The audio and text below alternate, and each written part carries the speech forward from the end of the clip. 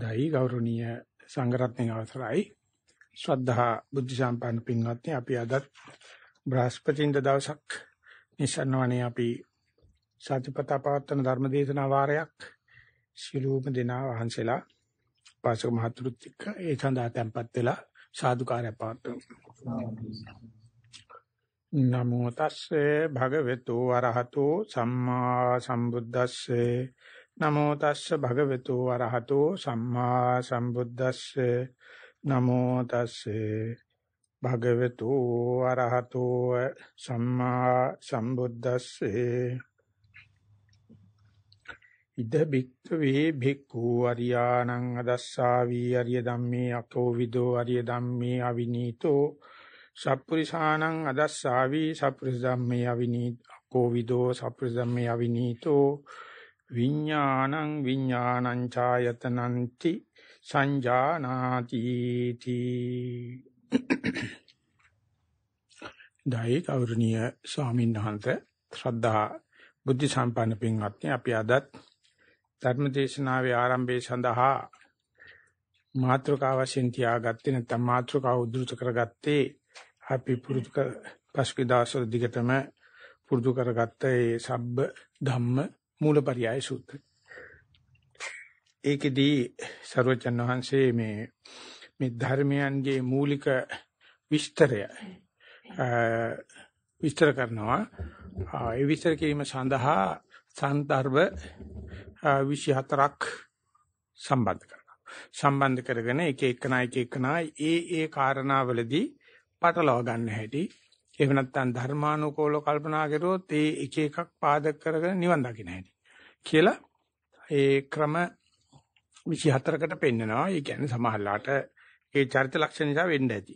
එහෙම නැත්නම් භාවනාව ක්‍රමයෙන් වැඩෙනකොට ආරම්භයේදී තා ගොරෝසු ප්‍රසිද්ධ ඕලාරික දේවල් හරහා කාරණා කාරණා වටහාගෙන ඒක ගැඹුරට යන්න යන්න ගැඹුරු මාතෘකා ගැඹුරු සන්දර්භ දිගේ අර ඉගෙනගත්ත දේ පිරිසිදිනවා වැඩි වැඩියෙන් උපඩා ගන්නවා හටියට වැලි ගලේ අතුල්ලා පස්සේ තෙල් ගලේ අතුල්නවා වගේ පීය සියුම් කරගන්න ක්‍රමයක්.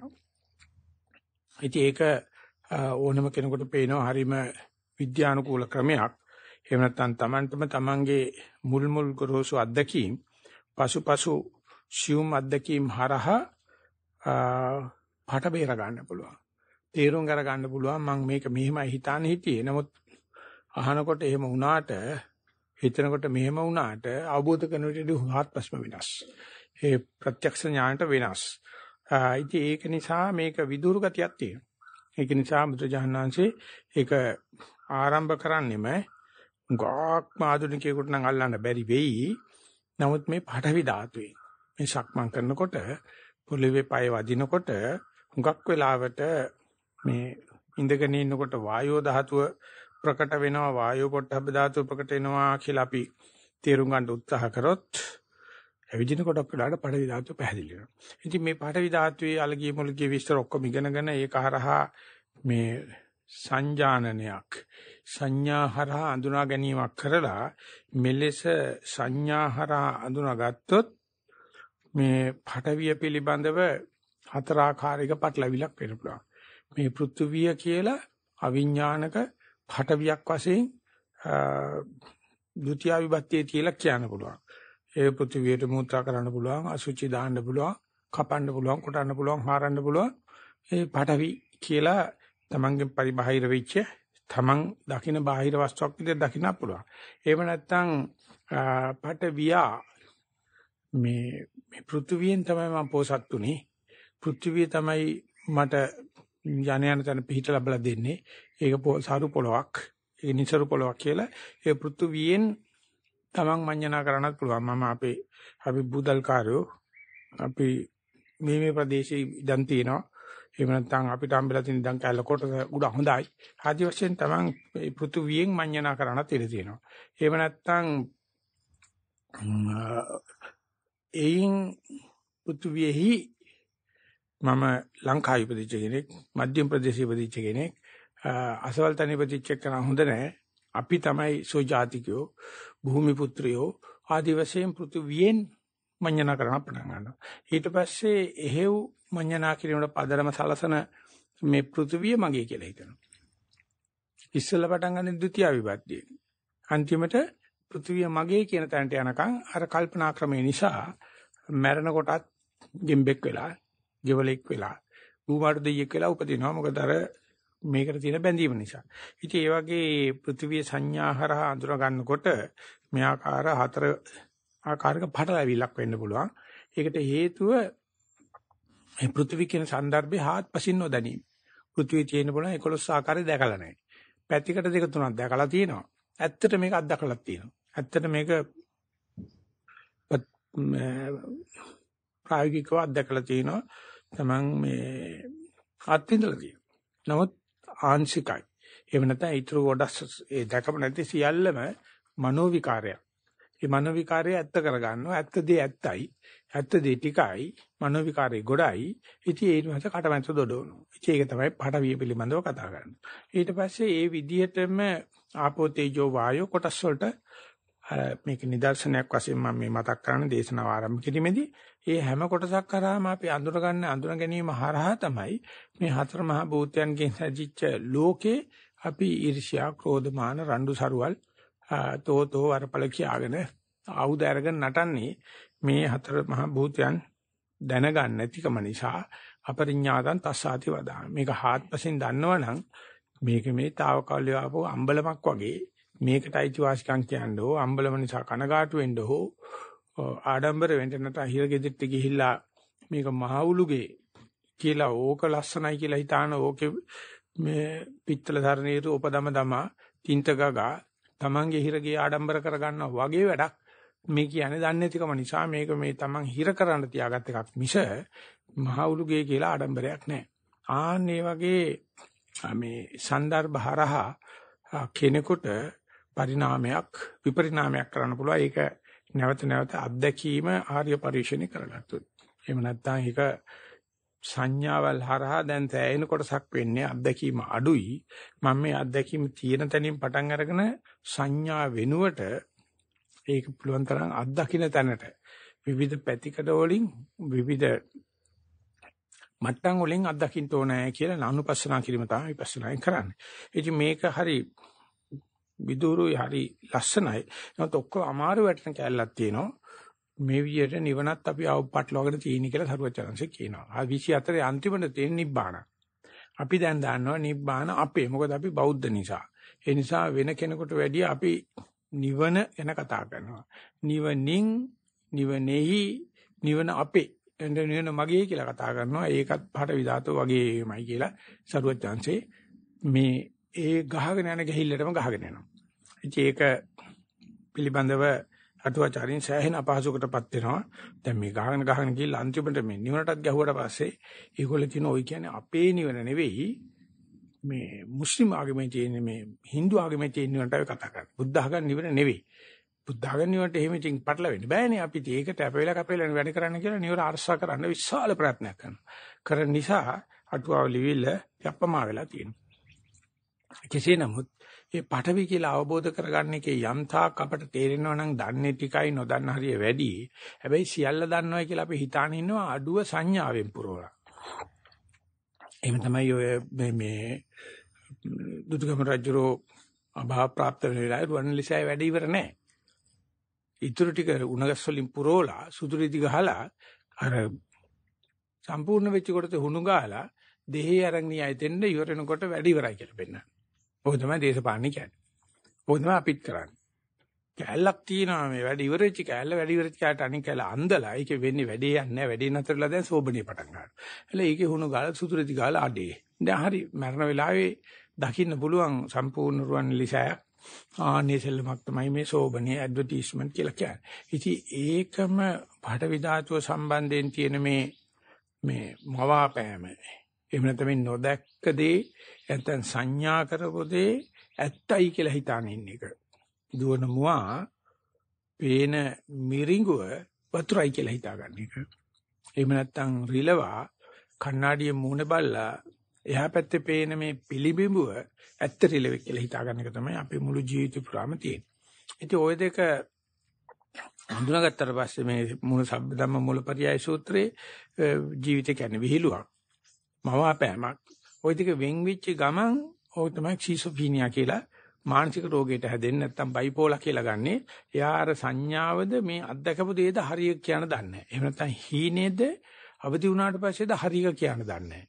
තෝන්තු වෙච්ච වෙලාවේද ඇත්ත එක කෝකද කියලා දන්නේ නැහැ. ওই දෙක පැටලවුණාට පස්සේ ඇත්ත එකේදී සදාචාර සම්පන්න වෙනවනම් මවාපාපු එකේදී තන්නේ කර සදාචාර විරෝධී පරිසර දූෂණ තමයි විනාශ කරගන්න තත්ත්වයටපත් වෙනවා. සීදීනස ගන්න. ඒ වගේම මේ දෙකේ තියෙන මේ හුරස් ප්‍රස්කතිය නිසා කිසි කෙනෙකුට යාට පිටලා කටයුතු කරන්න බෑ. වෙලාවක 100%ක්ම සදාචාර සම්පන්න. ඊට පස්සේ අර මානසික අවුල්තත්වයට ගියාට පස්සේ 100%ක්ම සමාජ විරෝධී වෙලා සීදීනස ගන්න අනුන් මරණ තත්ත්වයට යනවා. ඉතින් මෙවුවා මානසික අසහනීය මේ වගේ සූත්‍රයක තේරෙනවා. ඒ දේ මනසක ඕනම කෙනෙක්ගේ තියෙනවා. පෘථිවි කියලා දන්න අඳුරන කොටසක් තියෙනවා.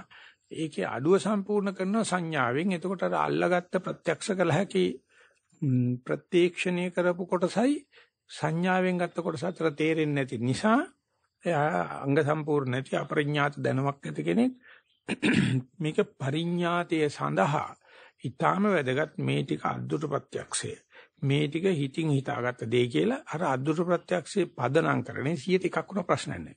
පදනම් කරන්නේ ඒ මත ඉඳගෙන සියල්ල බලන්ඩ නැවත නැවත ප්‍රත්‍යක්ෂණය කරන්න යෑම ජීවිත පරිශ්‍රණයක්. ආර්ය පරිශ්‍රණය. ඒකට හැම කෙනාටම සුදුසුකම් තියෙනවා. නම හුඟ දෙනෙක් කරන 98ක් විතර වෙන අර පරිකල්පනා එහෙම නැත්නම් සංඥා එහෙම නැත්නම් හිතලුවක් ඇත්ත කරගෙන අර සත්‍ය 100ට එකක් දෙකක් තියෙනක පැත්තක දාලා අරකෙම ජීවත් වෙනවා. ඉතින් පිස්සු තමයි වෙන්නේ. අන්තිමට මේ අත්දකපු නැති දෙයක් අත්දැක්කා කියලා එහෙම නැත්නම් නොදැක්ක දෙයක් දැක්කා කියලා නැහුණ දෙයක් ඇහුවා කියලා අත්දකපු නැති දෙයක් අත්දැක්කා කියලා ආර්ය විවරය අතාරිනවා. ඒ සුතමේ ඥාණයෙන් කෙනෙකුට පොඩි ඉඩක් ලැබෙනවා නෑ ඔබ දන්න 100ට එක හරි කමන්නේ දැක්ක දේ විදියට දකින්න අනිත් දේ හිතාගත්ත දේ විදියට දකිනවනම් හොඳ ආරම්භයක් වෙනවා. සසුතමේ ඥාම් කිසි සාධනීය කෘත්‍යයක් කරනවා. හැබැයි ඒක දැනගෙන අහන්න ඕනේ. හැම කෙනෙකුටම පාඨවිය පිළිබඳව දහම් ගාණක් 100ට ගාණක් දැනුම තියෙනවා. නැත්නම් අත්දැකීම තියෙනකොට මේ පය පොළේ තියුණට හැපෙන දැනෙනවා. ඒක ආයේ මේ ඒකට වෙනම විභාග පාස් කරන්න ඕනේ නැහැ. ඒකට වෙනම ඩිප්ලෝමා ඕනේ නැහැ. නමුත් මේ දැනෙන ටික විතරමයි කමඨාන් සුද්ධ කරනට ඉදිරිපත් කරන්න ඕනේ. එහෙම දැනනවා හොඳයි, මෙහෙම දැනනවා හොඳයි කියලා තියෙන පරිකල්පනා අර දැනිච්ච දේ වෙන් කර ගන්න බැරි නිසා අපි එක්ක කියනවා සක්මන් කරනකොට වැටහිච්ච දේ දැන් ලියන්න බෑ. ඒ මොකද ඒ තරම් බින්දා බින්දාක් තියෙන එක. අනිත ඔක්කොම හිතාගත්තේ. එහෙම නැත්තම් අර පේන බින්ද අමතක කරලා හිතාගත්ත ටික ලියනවා. ඉතින් එතකොට වෙන්නේ තනිකරම මේ මිරිඟුවක් පිටිපස්සේ දුවනවා. ඉතින් කවදාද අපි මේක ප්‍රත්‍යක්ෂය මේක හිතලුවක් මේක ණය විපස්සනාවක් මේක අනුමාන ඥානයක් මේක සුතමේ ඥානයක් කියලා මේ තුන වෙන් කර ගන්න පුළුවන් නම් බොරතෙල් අරගෙන පෙට්‍රෝල් වෙන් කරගත්තා වගේ මේව නැත්තම් ඩීසල් වෙන් කරගත්තා වගේ එන්ජින් ඔයිල් වෙන් කරගත්තා වගේ වැඩ ගන්න පුළුවන්. ඉතින් එන්නේ දේ සඳහායි මේ සූත්‍රය දේශනා කළා තියෙන්නේ. නමුත් ඒක අර දැන් මම නිවන දන්නවා කියලා හිතාගෙන ඉන්න කෙනාට ලොකු අභියෝගයක් වෙනවා. බුදුහාමුදුරෝ නිවන පිළිබඳවත් තියෙන අපරිඥාතයක් කියලා බෞද්ධයන්ට මතක් කරනකොට. ඉතින් අපි මේ කොන් දෙක අල්ලගෙන කතා කරන්නේ අද අපි කතා කරන මාතෘකාවට ඒක අනියමාර්ථයෙන් සම්බන්ධ නිසා අද අපි ගන්න හදන්නේ පඨවි ආපෝ තේජෝ වායෝ කියන හතරම භූතයෝ ඊට පස්සේ භූත ධර්ම වශයෙන් මේ හතරම පේන භූත කියලා කියන්නේ දැනෙන ඇඟෙන පෙනෙන හොල්මන් තියෙන දේ. ඒ කියන්නේ අභූත මොනවද තියෙනවා. අභූත දේවල් දැනෙන්නේ නැහැ, පේන්නේ නැහැ, හොල්මන් නැහැ. හැබැයි නැහැ කියන්න බෑ. ඒ නිසා භූතතෝ ප්‍රකාශිත දේ අපි ප්‍රකාශිත දේ වශයෙන් පිළිගන්නවා. ඒක පේනවා දේවල් තියෙනවා අප්‍රකාශිත. ඒක ගැන මේකෙදි මතක් කරන්නේ වට අරූප ධර්ම කියලා කියනවා. සූක්ෂම රූප ධර්ම කියලා කියනවා. ඒ නිසා ඉස්සෙල්ලම මේ භූත தත්ත්වේ. ඒකට ඒකේ අපි සාමාන්‍යයෙන් කැමි විවහාරයේ භූතයයි කියලා කරන කතාවක් තියෙනවා. වර එක එකනට එකනට පේනවා වර එක පේන්නේ ගොම්මනට පේනවා අනික් කරාට පේන්නේ නැහැ කියලා භූත කතාවකුත් තියෙනවා. භූමාට දෙයියෝ භූතයෝ නෙමෙයි කියලා. ඒ වගේ නිකන් කතාවක් කරනවා දේව ප්‍රජාපති බ්‍රහ්ම කියලා. දෙයියෝ જાතියක් ඉන්නවා බුදුජානනාචේ කතා කරනවා. එහෙම නැත්නම් රෑ මත් දහනේ බුදුහාමුදුරයිලා කතා කරනවා. අපිට පේන්නේ අපිට අපි ගිහලා වඳිනවා කතරගම දෙයියන කියලා තිරහත ඇරලා බැලුවට පස්සේ ඕක මලකට කාච්ච ආයුධ කැලි ටිකක් විතරයි ඕකේ තියෙන්නේ. ඕක ඇතුලේ මොන එකක්වත් නැහැ. හැබැයි එතෙන්ට යනකොට ආවේශ වෙනවා. කවුද ආවේශ වෙන්නේ? දෙයියද දෙයියාගේ බල්ලාද අපි දන්නේ කොහොම හරි ඔය වගේ භූත කතාවක්, දේව කතාවල් අපි ළඟ තියෙනවා. ඒ නිසා අපිට ප්‍රතික්ෂේප කරන්නත් බෑ අපිට. මේ ප්‍රත්‍යක්ෂ කරලා සාතු කරලා කියන්නත් බෑ.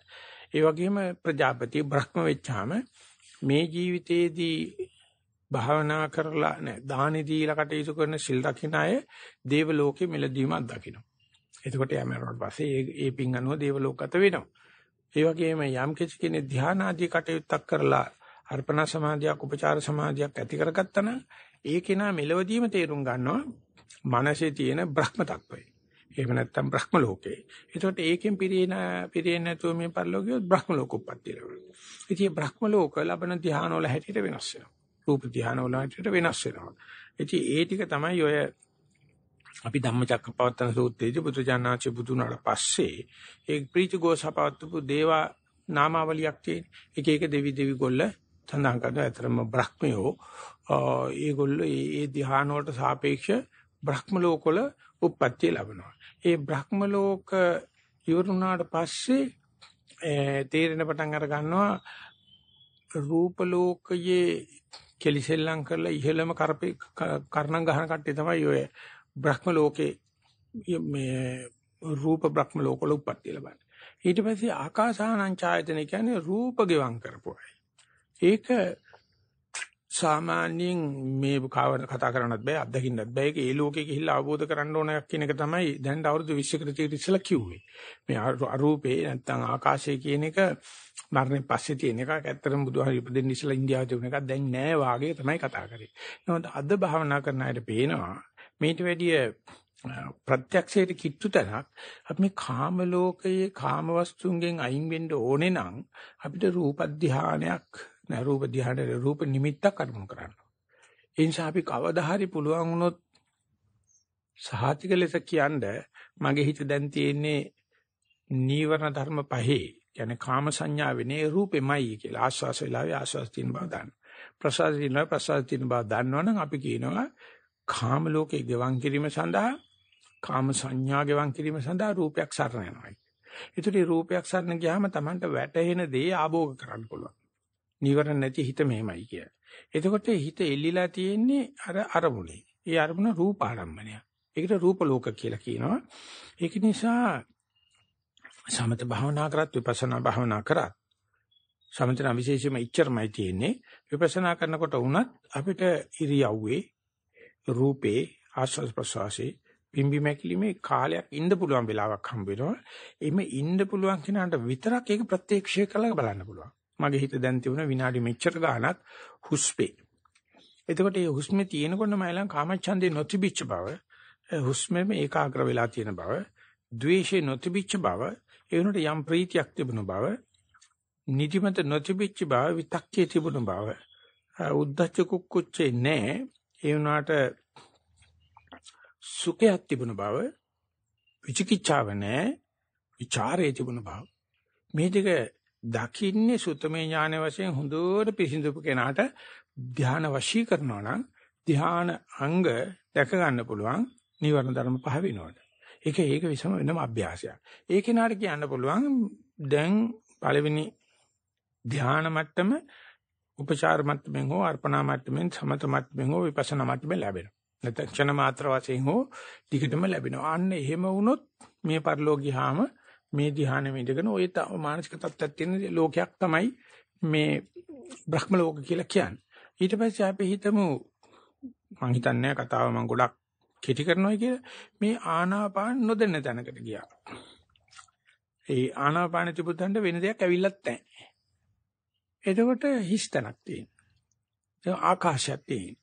ඉතින් ඒක ඔය රූප කසිනියක් කරන භාවනකොට කටිනුග්ඝාටම අවකාශය කියලා එකක් උගන්වනවා. කසින කසිනේ තිබුණ තැන හිතින් අවකාශයක් හිතාගෙන අපි නීල කසිනියක් බලාගෙන භාවනා කරා නම් ඒ රවුම පිටිය කෙල්ලක දිහා බලන්නේ ඕන නීල කසිනේ 1 2 3 4 ධ්‍යාන වඩලා ඒ නීල කසිනේ තිබුණ තැන අවකාශයක් තියෙන කියලා හිතාගෙන ඒ අවකාශය අනන්තයි කියලා ආකාසානං ඡායතනෙ කියන කතාව රූපේ ගෙවන් වීම කියලා කියන්න පුළුවන්. ඉතින් ඒක අද භාවනා කරන ශේෂ්ත්‍රයේ හරීම විප්ලවීය තනක් බාටපත් වෙලා තිනවා මේ තරම්ම ලේසිද කියලා මේ අරූපය අත්දකින්න. එතකොට සමහරු කියනවා නෑ ඒක සමත භාවනා කරනාට විතරයි තියෙන්නේ කියලා. යන්න බෑ කියලා. ඔය විපස්සනා කරන අය කියනවා පැහැදිලිවම මේ ආනපනේ පුංචි වෙනවා තේරෙනවා. සියුම් වෙනවා තේරෙනවා. සූක්ෂම වෙනවා තේරෙනවා. සමහරලාට මොනවක්වත් නැතු වෙනවා තේරෙනවා. හැබැයි මේ වෙලාවේ වෙන එකක් තිබුණොත් අපි සද්දයක් තිබුණොත් වේදනාවක් තිබුණොත් අපිට ඒක ආකාශය කියන්න බෑ. නමුත් අපි කියනවා හිත කැඩිලයි කියලා. හිත වෙන දෙයකට ගියයි කියනවා හොඳම සූක්ෂම කෙනාට කියන්න පුළුවන්. මගේ හිත ආනාපානෙ තවදුරටත් ඇත්තෙත් නෑ. ඒකේ සද්දත් නෑ, වේදනත් නෑ, හිතවිලිත් නෑ. ඒක හිස්. එහෙම නැත්නම් සුත්තුච්චයි, රිත්යි, ශුන්‍යයි.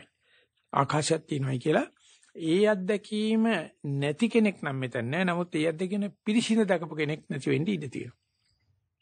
මේ වෙලාවේ ආරමුණ තිබුණෙත් නෑ, වෙන ආරමුණ තිබුණෙත් නෑ. හැබැයි සතිය කැඩලා නෑ. සද්ධාව කැඩලා නෑ. සීලය කැඩලා නෑ. කියන එක සපෙලා කියන්න බැරි ප්‍රශ්නේ අපට තියෙන්නේ. මොකද හේතුව අපි අර මේ පාලුගේ වළම් බින්දිනා වගේ ආනපාන නැති වෙනකොටම සද්දයක් රිංග ගන්නවා. හිතවිල්ලක් රිංග ගන්නවා. වේදනාවක් රිංගගෙන අපිට පේන්නේ නැහැ හිස්තනක්. නමුත් හොඳට බැලුවොත් ආශාචෝල ප්‍රසවාසයෙන් ඉස්සලා තියෙන හිස්තන වගේ පොඩි තනක් කරන බැලුවොත් ඒක දීර්ඝ කාලින වශයෙන් තියෙන්න පුළුවන් හිස්තනක් තියෙනවා.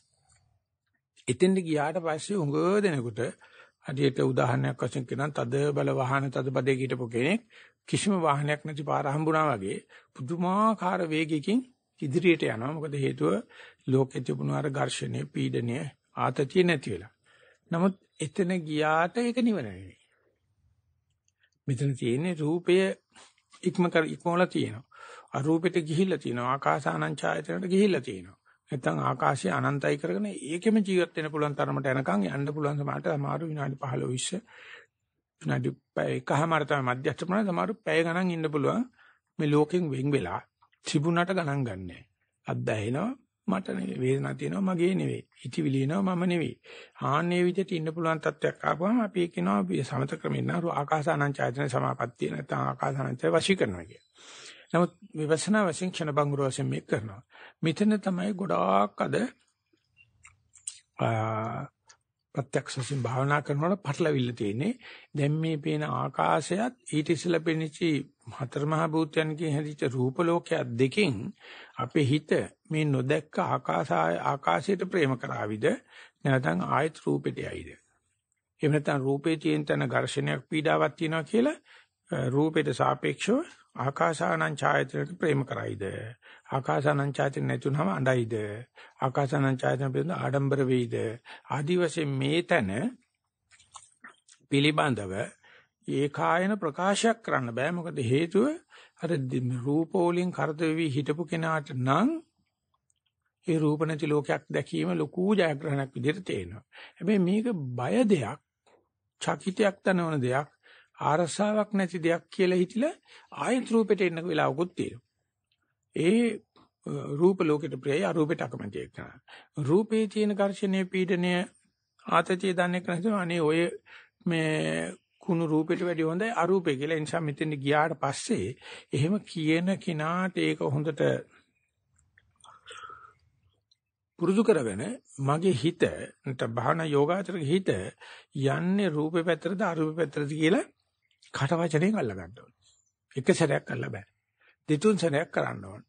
ඒ නිසා සමහරු වාද කරනවා මෙච්චර රූප ලෝකේ විඳපු එක්කනා අරූපෙට ගියාට පස්සේ අනිවාර්යෙන් සතුට වීතු නැද්ද කියලා. එහෙම නැත්නම් අරමුණක් නොදැනී සිටීමේදී අනිවාර්යයෙන්ම සතුට වීතු නැද්ද කියලා. ඇත්තටම සතුට වෙන්න පුළුවන්. මොකද ලොකු භාවනායේ ප්‍රයෝගයක්.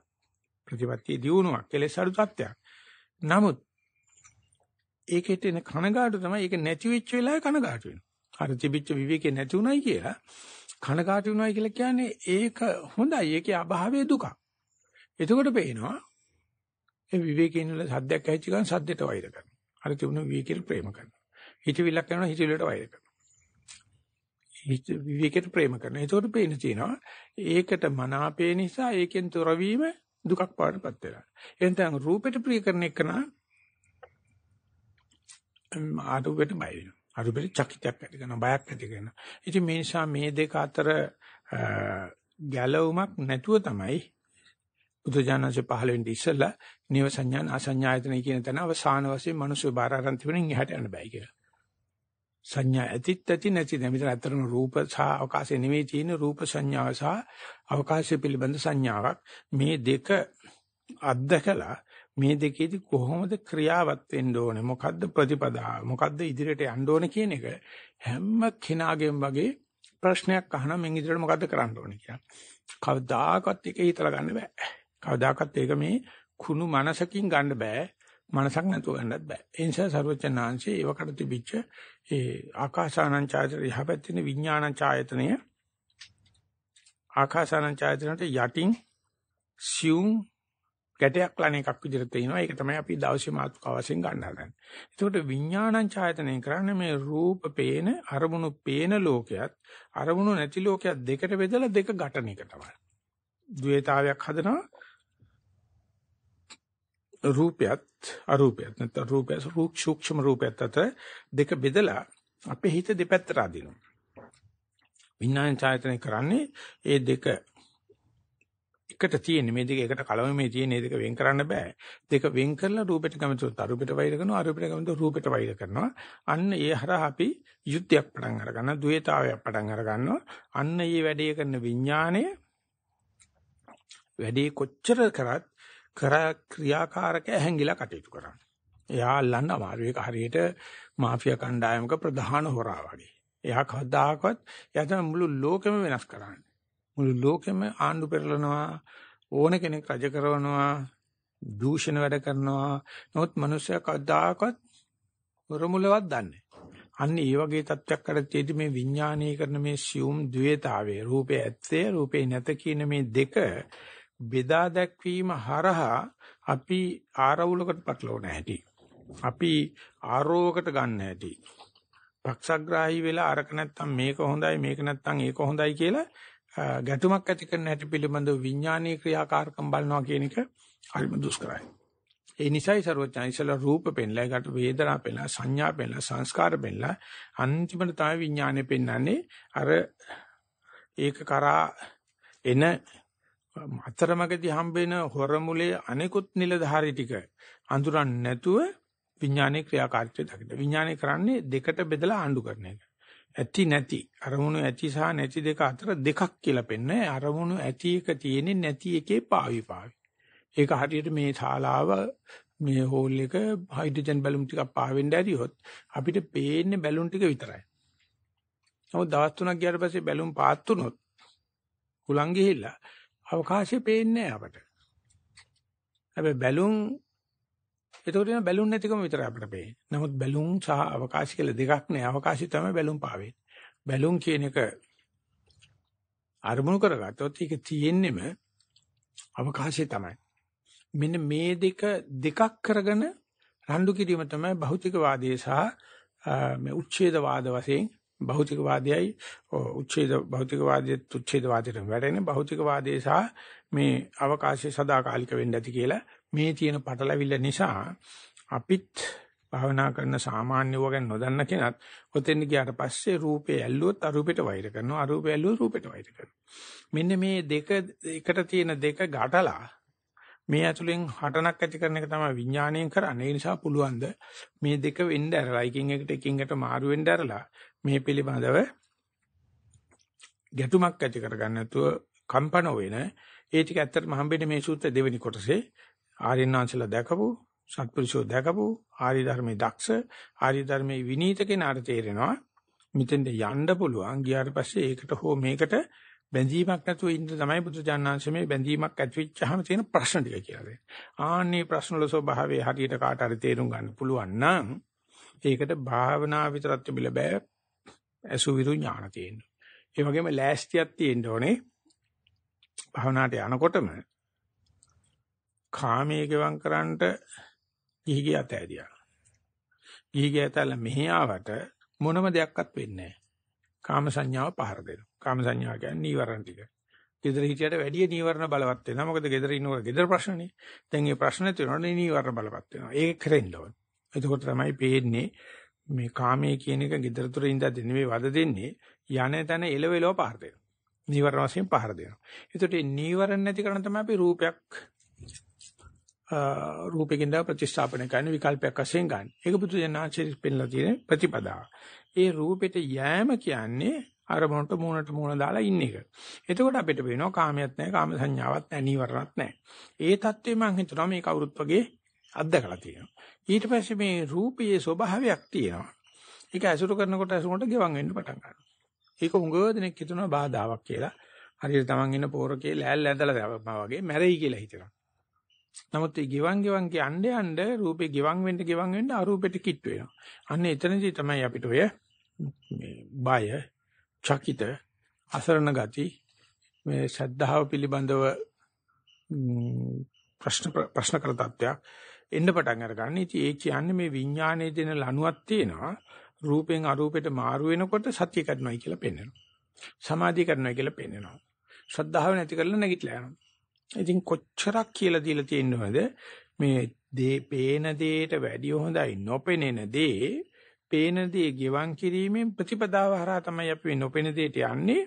හැබැයි මේ නොපෙනෙන දෙයටත් ප්‍රේම කරන්න එපා. පේන දේ නැති කිරීමට සාපේක්ෂව ප්‍රතිස්ථාපකයක් වශයෙන් ගන්නවා ඇර. ඉතින් ඒ නිසා මේ පෙන ඒ ඊට පස්සේ නොපෙනෙන දේෙන් බේරෙන්න කරන් තියෙන්නේ ආයේ පේන දේ ආපුවට කලබල වෙන්න එපා. පේන දේ නොපෙනෙන දේ නැත්තම්. රූපේ සහ අරූපේ අතර තියෙන මේ දෙක වෙන්කරන්න වෙන් කරන්නේ නැතුව දෙකම එකිනෙකට ප්‍රත්‍යක්ෂ සාපේක්ෂ වෙලා තියෙන්නේ කියලා බාර ගන්න කෙනාට ප්‍රධාන ප්‍රශ්නයක් මතුවෙනවා. ඒකට සදාචාරයට මොකද වෙන්නේ කියන්නේ? හොඳ නරක දෙකට සමව සලකන්න වෙනවා. හරි වැරදි දෙකට සමව සලකන්න වෙනවා. ඇති නැති දෙකට සමව සලකන්න වෙනවා. දුක සැප දෙකට සමව සලකන්න වෙනවා. යසසායස දෙකට සමව සලකන්න වෙනවා. ඉතින් එතෙන්ට යනකම්ම සීලේ සහ සදාචාරය අවශ්‍යයි. ඔතනින් එහාට යන්න බැරි සදාචාරවාදයට යන්න බෑ. මොකද යාට බෑ හොඳ නරක දෙකට සමව සලකන්න. එයාට බෑ වේදනාවටයි දුක් වේදනාවට සැප වේදනාවට සමව සලකන්න. එයාට බෑ රූපේ ඇත්තනයි නැත්තනයි දෙක එක හැම වෙලාවෙම දෙකම එකට තියෙන්නේ බලන දේ යනවා වෙනස් වෙන එක තේරුම් ගන්න බෑ. ඉතින් ඒක නාට එතනින් එහාට තියෙන ගමන හරිම ගැඹුරුයි. ගැඹුරු හේතුව මේ දෙකම එකයි කියලා එකේම පැතිකඩ දෙකක් කියලා විඥානයේ විසින් දෙකට බෙදලා පෙන්නුවාට එහෙම දෙකක් මේකේ නෑ. දෙකේ එකයි. කියන එක තේරුම් ගන්න තියෙන අපහසු. අපි දන්නවා ගංගා නංගගේ තියෙන මුරුදු ජලය මුහුදට ගියාට පස්සේ ඒක මිරිජයක් කරදියක් පාටපත් වෙනවා. එතකොට ගංගා නංගක නැති වෙනවා. මුහුදක් ඉතුරු වෙනවා. නමුත් ලෝකේ තියෙන ජලයේ දිහා අරගෙන බැලුවොත් ගංගා නංගේ තියෙන ජලයමයි මුහුදේ තියෙන ජල මේක වෙන් කරන්නේ ජල චක්‍රයමයි ඒක කරන්නේ ජල චක්‍රයමයි. එකතු කරනකොට අපිට ගංගා නංගක නැති වෙනවා. නාම ඒ නාමකරණය නැති වෙනවා. මුහුදේ දී වෙනවා වගේ පෙනුනට ආයශරය මුහුදෙන් ගංගා නංගක හදනවා. මෙන්න මේ චක්‍රය දිහා බලනකොට මේ චක්‍රයක් වැඩ කරන ජල චක්‍රය කැල්සියම් චක්‍රය ආහාර දාමේ හැම එකම වරක වෙන් වෙනවා ආයෙ ලඟ වෙනවා. හැබැයි සමස්තය ඇතුලේ තමයි මේ වෙන්වීම සහ ලංවීම සිද්ධ වෙන්නේ. එතකොට ඒකේ වෙන්වීම දකින්න විඥානය කැමති නැහැ. විඥානය හැම වෙලාවෙම ඒ දෙක ගැටලනවා. එක්වීම පෙන්නකොට සමුදේ පෙන්න පෙන්න ලස්සන කතන්දර ගොතනවා. ඒ නිසා ආකාසානංචායතන තියෙන විඥානංචායතනේ බලන්න ගියාම අපිට තේරෙන දෙයක් තමයි තේරුම් ගත යුතු දෙයක් තමයි මේ විඥානය කරන්නේ මේ එකට ඉන්න දෙන්නේ දෙකට බෙදලා ඒකෙන් රණ්ඩුවක් ඇති කරන එක. ඒක තමයි දෙකට බෙදලා ආණ්ඩු කරනවා කියලා සුද්දට අපි කියන්නේ. සුද්දගේ දේ ඉස්සෙල්ලා අපේ හිතේමයි තියෙන්නේ. ඒ නිසා පිටත ඇති වෙන මේ දෙකට බෙදලා ආණ්ඩු කරන ගතිය අධිරාජ්‍යවාදී ක්‍රමයේ අත්‍යවශ්‍ය අංගයක්. ඒක ඇවිල්ලා තියෙන්නේ විඥානයේ ඇතුලේ. ඒක නිසා අපට දුක් වේදනා සහ සැප වේදනා දෙකටම දුක් සැප කියන විශේෂණ පදේ නැතුව වේදනා කියන පදේට අඩු කෙරුවා නම් විඳවන්න වෙනවා. උණුසුම සිසිලස දෙකටම අපි තේජෝ කියලා කියනවා. උණුසුම ශීර්ෂ දෙක සම්පූර්ණ විරුද්ධ ධර්ම. දැන් දෙකම එකතු කරලා තේජෝ කියලා කියනවා. බරගතියට හැලුගතිය දෙකටම එකතු කරලා පටවි කියනවා. ඒ වගේම වේදනාවේ ශප දුක දෙක දෙකම එකතු කරලා විඳිනවා කියන එක විඳීමක් කියන එක ගන්න අපි කැමති නැහැ. මොකද විඳීම හැම වෙලාවෙම ශප විඳීමක් වෙන්න ඕනේ කියලා අපේ විඥානය අපි වෙනුවෙන් ආණ්ඩුවෙන් පත්තරු නීතිඥයෙක් වශයෙන් නඩුවර කතා කරනවා. ජය පරාජය දෙකෙන් ජය විතරක් තියෙනවා. යසසයිස දෙකෙන් යසස විතරක් තියෙනවා. නැත්නම් ආයස ඒක හතුරට යන විරුද්ධ කාර්යයට අපිට තියෙන යස් විතරයි කියලා මෙන්න මේ ගතිය එනකොට කොච්චරක් භවනා කළා කොච්චරක් සූදානම් මනසකින් යන්න ඕනේද? මේ වේදනාවට නම් දෙකක් දානවා විඥානේ. දාලා එකක් අල්ලන එකක් අතාරිනවා නාමකරණයක් නැත්තම් සංඥාකරණයක් නැත්තම් වේදනාවට කිසිම අවශ්‍යතාවයක් නැහැ. ඒ එන ශරීරයේ ඉන්න මිනිස්යාට දුකක් දෙන්න හෝ සැපක් දෙන්න. ඒක සැපක් දුකක් පාඩපත් වෙන්නේ ඒ පුද්ගලයාම විසින් විඥානයේ මෙහෙවීම අනුව නාමකරණය හරහා සංඥාකරණය හරහා ඒක නිසා යමක් සංඥා කරගන්න බැරි මට්ටමේ තියෙන එක බැලීම සංඥා ස්කන්ධ භාවනා කියලා කියන්න පුළුවන්. ආස්වාසිය ආස්වාසයක් වෙන්නේ ඉස්සරලා කොතන ඉඳලා කොතන ඉඳලා දාවේ. ප්‍රසවාසය ප්‍රසවාසයක් වෙන්නේ ඉස්සරලා කොතන ඉඳලා දාවේ. බබෙක් අපි ඉපදිච්චමු ඉපදිච්ච ගමන් නාමකරණ ඉස්සලා මැරලා යනවා කියලා. ඊට පස්සේ අසවල මැරනවා කියන්න බෑ. මතකෙත් නැති වෙනවා අපිට එහෙම ළමයි කිපතුන බවත් මතක නැහැ. මොකද ළමයි නාමකරණය කරලා නැහැ. මේ නාමකරණයෙන් තමයි සියලු දුක් හටගන්නේ. නමුත් නාමකරණය කියන සංඥාව විඥාණයෙම දරුවේ. ඊට පස්සේ සංඥා විඥාන දෙක අතර තමයි සංජානාති හැඳිනීමක් කරනවා. ඒ හැඳිනීම අනුව තමයි අපි පුද්ගලයෝ හතුරෙක් මිතුරෙක් කරගන්නේ ආස්වාද ප්‍රසආසය හොඳ නරක කරගන්නේ අන්න ඒක සංඥා රූප වේදනා සංඥා අල්ලගෙන ඒ අනුව සකස් කිරීම සංස්කාර මට්ටමට ගිහිල්ලා කොයි වෙලාවක හරි භාවනාදී පරියන්කේදී කිසිම සංස්කරණයක් නොකරන අදිෂ්ඨාන කරගෙන ඊටම තම මොනවක්වත් කරන්නේ නැතුව ඇති දේ බලන්න යන්න නම් ඒ ඉතින් රූප පිළිබඳ වේදනා පිළිබඳ සංඥා පිළිබඳ හොඳ අවබෝධයක් තියෙනවා. තිබුණොත් විතරක් තමයි පట్టල වාඩි වෙලා මේ කයට මොනවත් නොකර වෙන දේ දිහා බලන ඉන්නවා කියනට අපි අපි කියනවා අසංස්කාරිකව චේතනා විරහිතව සිදුවෙන දේ බලන්න කියලා. ඒකට විඥානය කොහොමඩක්වත් කැමති නැහැ. එතකොට විඥානයේ තියෙන කටකම අහුවෙනවා. එයා කරන්නේ එන දෙයට නමක් දාන එක. ඒ නිසා සතිය පිහිටුවනකොට සංඥා පදට්ඨාන නම් කර කර නම් කර තමයි සතිය පිටවන්නේ. නමුත් සතිය යම්මසි මට්ටමට ආවට පස්සේ විතක්ක ਵਿਚාර දෙක අතාරින්න වෙනවා. දෙවෙනි දිහාට යනකොට විතක්ක ਵਿਚාර දෙක අතාරින්න. ඊට පස්සේ අනායාසයෙන් භානය යන්න දෙන්න වෙනවා.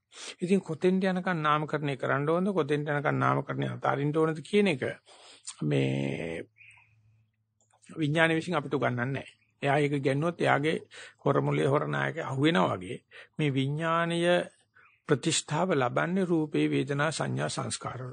අපි ක්‍රමයෙන් ක්‍රමයෙන් රූපය අරූපයක් පාටපත් කරගෙන වේදනා සැප දුක් දෙක අතරමැද තියෙන අදුක්කම සුඛ වේදනා කරගෙන සංඥාකරණයක් නොකර ඉඳ අදිස්ථාන කරන නිසා ඉබේ සිද්ධ වෙන්න ගන්නවා කියලා එකට කියන්නේ. අනායාසයෙන් සක්මන වෙන්න ගන්නවා මෙනෙහි කිරීමක් කරන්න නැතුව උනත් යන්න පුළුවන්. පරියංකේදී සමතවත්යෙන් බලනවා දෙවෙනි ධ්‍යාන ගියාම විතක්ක ਵਿਚාරات අහිනවා වගේ. යම් මට්ටමකට ඇවිල්ලා භාවනා භාවනා විශ්ින් යනකොට මෙනෙහි කිරීමකුත් නැතුව යන්න හරිනවා. එතකොට සංඥා කිරීම ඊට පස්සේ සංස්කරණය තමයි සකස් කිරීම. මේ තියෙන දෙයට යන්න දෙන්නේ නැතුව මේක දියුණු කරන්න හදනවා. මේක අඩු කරන්න හදනවා. අර පැත්ත තෝරනවා මේ පැත්ත තෝරනවා. මේ හැම එකකින්ම තමන්ගේ ස්වච්ඡන්දේ ක්‍රියා කරනවා. අනේ ස්වච්ඡන්දේ පැත්තක තියලා සංඥා පැත්තක තියලා මේක වෙන දේ දිහා බලන් හිටියොත් ඒකට කියනවා විඥාණයට පිහිට ආධාරණ තියෙනවා කියන්නේ. විඥාණයට පිහිටන්නේ තැනක් නැති වෙනවා. ඒක තමයි අපි ඔය මේ අත්තිරාග සූත්‍රය කියන එකෙන් එදා ඔකට කරන්නේ ස්වාමීන් වහන්සේ පෙන්වුවේ. ඒකේ පැති දෙක තුනක් ඒ ස්වාමීන් වහන්සේ සූත්‍ර පිටකයෙන් උද්දෘත කරලා පෙන්නවා. සිව්මැදුරු කවුලුවක දකුණු දිශින් ඊට පායන නැගෙනහිර දිශින් ඊට පායනකොට කොහෙද හිර රශ්මිය වදින්නේ කියලා බුදුරජාණන් එතකොට සංඝයා වහන්සේලා කියනවා ස්වාමීන් වහන්සේ බටහිර පිටියේ වැටෙනවා කියලා. ඒකට කියන හොඳයි මහන්නේ බටහිර එතන පිටියක් නැත්තම් ඒ ආලෝකෙට මොකද වෙන්නේ? ඒ ආලෝකේ බිම වැටෙනවා. පොළොව වැටෙනවා. එතකොට එතන පොළොවත් අයින් කරුවොත් ආ එතන වලක් වතුර හත් මන්තුවේ වතුර වැටෙයි. වතුරත් නැති වුණොත් ආලෝකේ වැටෙන්න තැනක් නැහැ. ආලෝකේ නොපෙනියනවා. එහෙම නැත්නම් හිතන ඉර පායනකොට මේන ආලෝකේ යහ පැත්තේ තියෙන කවුලකින් ගියයි කියලා එළියට ආලෝකෙට මොකද වෙන්නේ? අප්‍රකාශිතයි. ඒකට ඒ අප්‍රකාශිත ආලෝකය තමයි අනිදස්සන විඥානයේ වශයෙන් පෙනෙන එක මොකේක හරි වැදුනොත් මොකේක හරි ගැටුනොත් ඒ ගැටෙන දේ පෙනීම හරහා ප්‍රකාශ වීම හරහා ආලෝකයක් පේන වස්තුවක් පේන. නමුත් ඒක ගැටෙන්න දෙයක් නැත්නම් රූපයක් හෝ වේදනාවක් හෝ සංඥාවක් හෝ සංස්කාරයක් නැත්නම් ආලෝක අප්‍රකාශිත තත්ත්වයටපත් වෙනවා. එතකොට නිකන් අවලංගුණා වගේ. මෙන්න මේ අප්‍රකාශිත தත්වයටපත් වෙන එක කටුකුරුනේ සාන්තිපු අටක තමයි අනිදර්ශන විඥානේ. විඥානේ තියෙන එක නිදර්ශනේ වෙන්නේ ඒක ප්‍රකාශයටපත් වෙන්නේ ඒක පිළිඹු වෙන්නේ ඒක හරියට කියනවා රාත්‍රී අවකාශය සම්පූර්ණ ආලෝකයක් තියෙන. නමුත් ඒක වදින්න දෙයක් නැති නිසා අන්ධකාරය අපිට පේන්නේ. ආලෝක අවකාශගත වස්තුවක් තිබුණොත් ඒක දිලිසෙනවා. මොකද අවකාශයේ තියෙන ආලෝකය. නමුත් වදින්න දෙයක් නැත්නම් ආලෝකයට ප්‍රතිෂ්ඨාවක් නැති වෙනවා. නගාදති කියන වචනේ පාවිච්චි කරනවා. ඒ නිසා රූපේ නම් ගාදනේ කරන්නේ ආලෝකයයිල වැටෙන විඥානයයි වැටෙන්නේ රූපේ ගවන් වෙන කම් යන්නේ. ඊටසේ අරූපෙට යනවා. ඊට පස්සේ මූල කර්මස්ථානේ බාහිර රූප තියෙනවානේ. ඒ වගේ විඥානේ වැදලා විඥානේ පෙන්වනවා. අන්තිමට එව්වත් ගෙවම් කරලා අන්තිමට විඥානේ තියෙනවා තමයි. නමුත් ඒක ප්‍රකාශ වෙන්නේ පිළිඹු වෙන්නේ නැහැ. නිදර්ශනය වෙන්නේ නැහැ. අනිදර්ශන தත්ත්වයට වැටෙනවයි කියලා කියන්නේ මේ පැත්තෙන් ආපු ආලෝකය එළියට යනවා කොහේවත් වැටෙන්නේ නැහැ. එහෙමනම් ආලෝකේ නැතුණා. ඒක ආකාසාන ආකාශයේ පද මේ සකුන්තානං පදං තස්සං න උපේති අහසේ ගිලෙන කුරුල්ලා ගියේ පාර පේන්නේ නැහැ. වෙන ඕනම සත්‍යයක් ගියේ පාර පේනවා.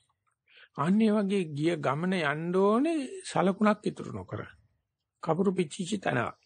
හිත සම්පූර්ණයෙන්ම රූපය පදනම් කරන හිත 100ට 100ක්ම රූපේ පදනම් කරලා ඉඳලා රූපයට ක්‍රමයෙන් ගෙවෙන්න යනවා. ගෙවිලා ගෙවිලා ගෙවිලා ගෙවිලා රූපේ සම්පූර්ණ වුණාට පස්සේ ගෙවුනට පස්සේ කලබල වෙන්නේ නැතුව මේක භාවනා යන්න පුළුවන් එක තැනක් ආයේ රූපේ පතන්නත් එපා රූපේ ගෙවම් කරලා හම්බෙච්ච මේ හිස්තන පිළිබඳව දැඩි ප්‍රේම කරන්නත් එපා මේක දිහා බලාගෙන ඉන්න පුළුවන් නම් මෙහෙම පදනමක් නැතුව නැත්නම් අරමුණක් නිමිත්තක් නැතුව සතිය පවත්වන්න.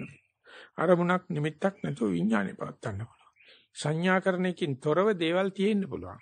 ඒ මොකද සංඥාකරණය කිරීම තමයි කෙලෙසනවා කියන්නේ. ලෝකේ තියෙන හැම දෙයක්ම නමකින් කැලිසිලා තියෙන කියලා බුදුන්සේ සඳහන් කරලා තියෙනවා. ඒක නිසා යමක් උපදිනකොට සංඥාවක් ඇතුව නෙවෙයි උපදින්නේ. ආශාසි උපදින්නේ ආශාසි කියන හඳුනා ගන්න බැරි තරම් සියුම්ම. අන්නේ හඳුනා ගන්න බැරි තැනකදලා හඳුනා ගන්න පුළුවන් තැන පත් වෙන තැන තමයි අපි සංඥාව වැඩ කරන්නේ. ඒක ගුරුසු භාවනා නොකරන එක ගොඩාක් ගුරුසු වෙනකම් හුස්ම අහුවෙන්නේ නැහැ. හොඳට භාවනා කරන එකට ඉතාම ඉලාවට හුස්ම එනකොටම පේනවා.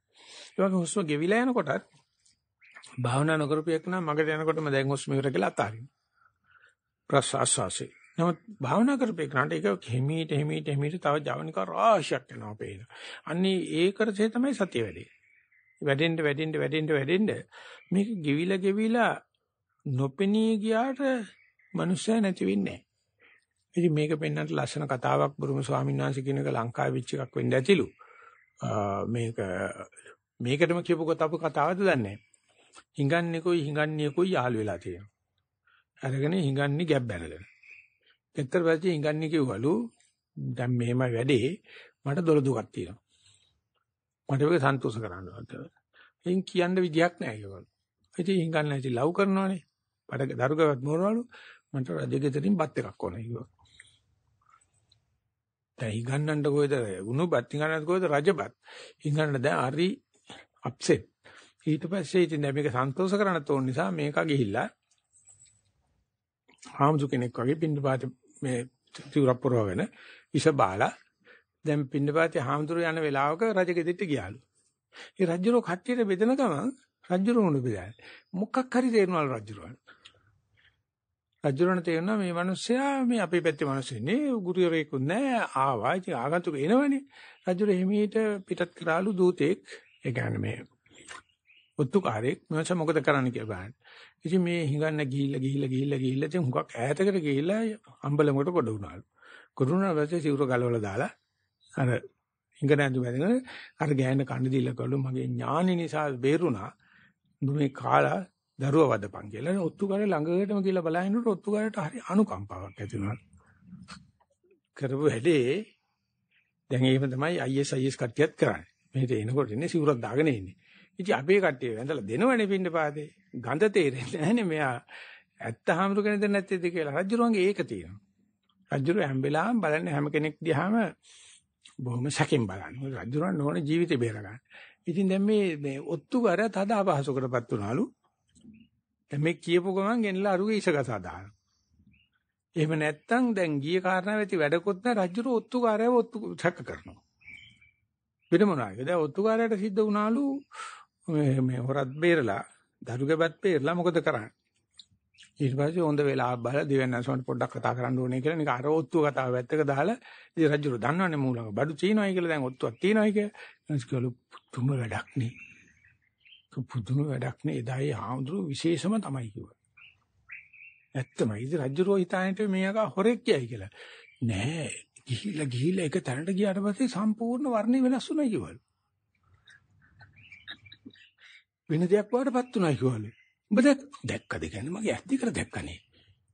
ඒ බලන්න ඉතා දාන් ටික දීගත් හම්බෙච්ච ලොකු වටන දෙයන්නේ ඒක වර්ණය වෙනස් වුණා කිව්වා. කතාව ඇත්තනේ. වර්ණය වෙනස් වෙලා තියෙන්නේ. සංඥාවේ ප්‍රශ්නේ තියෙන්නේ. අපි ඕනේ දුක් වේදනාවට සැප වේදනාවක් කියලා දැම්මොත් සැප තමයි. ප්‍රසූත වේදනාව හරිම දුකක්. මාතෘත්වය ලැබෙන්නේ නැහැ නේ. ඒ නිසා ප්‍රසූත වේදනාව මාතෘත්වයට සංකේතයක්.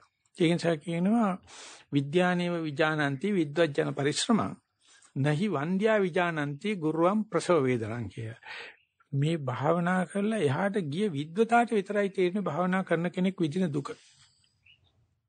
අනික කාටවත් දෙන්නේ නැහැ. යකෝ කාලා බීලා කරගන්න තියෙන මොනවට මේ තට මොනවද කරන්න බැරි දෙයකට කියලා මිනිස්සු අපහසෙට ලක් කරනවා. නමුත් විද්වත් ජනතාව දන්නවා මේ එහා පැත්තට යාගන්න කරන සටන විශේෂයෙන්ම විඥානයේ කෙලි අල්ලන එක කියන එක කොහොම ඔත්තු බලනවද කියන්න බෑ. මොකද මෙයා ඒ තරම්ම දෙකට බෙදලා ආණ්ඩු කරනවා. විද්‍යානේව විජානಂತಿ විද්වජන පරිශ්‍රම. නහි වන්ද්‍යා විජානಂತಿ ගුරුවම් ප්‍රසව වේදනා. වඳ ගෑණියෙකුට කවදාකවත් ප්‍රසව වේදනාව විඳින්න හම්බෙන්නේ නැහැ කියලා තියෙනවා. නම්බුවක් නැහැ නේද? වඳ ගෑණි කියන්නේ සමාජයේ විසින් පහත් කරපු જાතියක්. ඒකිට කවදාවත් ප්‍රසව වේදනාවක් නැහැ. ප්‍රසව වේදනාවක් දැනේ අම්මා කෙනෙක් විතරයි. ඉතින් ඒක නිසා ඒ ඔත්තුකාරයාගේ වගේ ඔත්තුකාරයාට ප්‍රශ්න තියෙනවා දැන්. උතුකට ගිහලා කියන දෙයනාචාරි පුදුම වැඩක් උනේ ගිහිල්ලා ගිහිල්ලා ගිහිල්ලා මට එපා වෙනකන් ගියා මහත් අන්තිමට ගියා ගියා යා එක තැනකට ඇතුළු වුණා ඇතුළට පස්සේ වර්ණ වෙනස් වුණා රජ්ජුරෝ කෑවා ඔය වාගෙම අපිට පුළුවන් නම් සැප වේදනාවට දුක් වේදනාව කියලා කියන්නේ දුක් වේදනාවට සැප වේදනාව කියලා කියන්නේ ਸਰවඥාන්සේ එකතු වෙන්නේ. හැබැයි නිකම්ම නෙවෙයි. ਸਰවඥාන්සේකට උපක්‍රමයේ කියලා දෙනවා. මම මේ කතා කරන විඥානං චෛතන තමයි. ඒකෙදි පෙන්නනවා අපේ හිත කියන්නේ හිස් තැනකට ගියා. හිස් තැන ගියාට පස්සේ දැන් මම දන්නවා මේක මේ ප්‍රතිපදාව හොඳ දැන කෙලෙස් අඩු තැන කියලා ඕන එක පාට සද්දයක් ආවයි කියලා. එතකොටම අපේ හිස් තැන කඩලා යනවා. අපිට තද්දත් එක තරහ යන එක නෙජිද්ද වෙන්නේ. දැන් අර හිතියේ හිස් තැනක බව හිස් තැනදී දන්නේ නැහැ.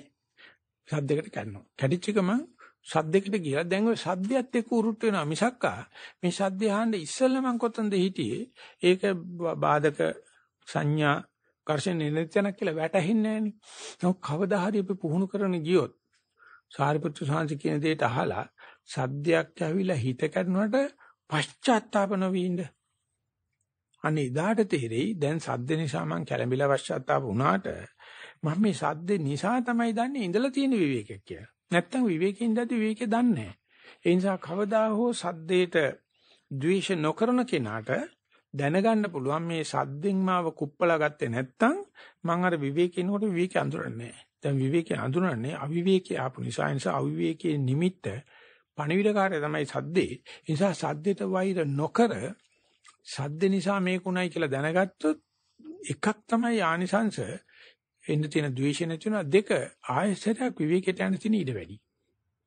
සද්දයත් එක්ක උරුට්ටුලා දෙදක විතර මේ කවුද මේ සද්ද කිරියෝ කණන්ති කරන්න ඕනේ කියලා අපි ඒකට පැටලිලා ගියොත් අපිට විවේකයට යන්න බෑ. අපි හිත ඇවිස්සෙනවා.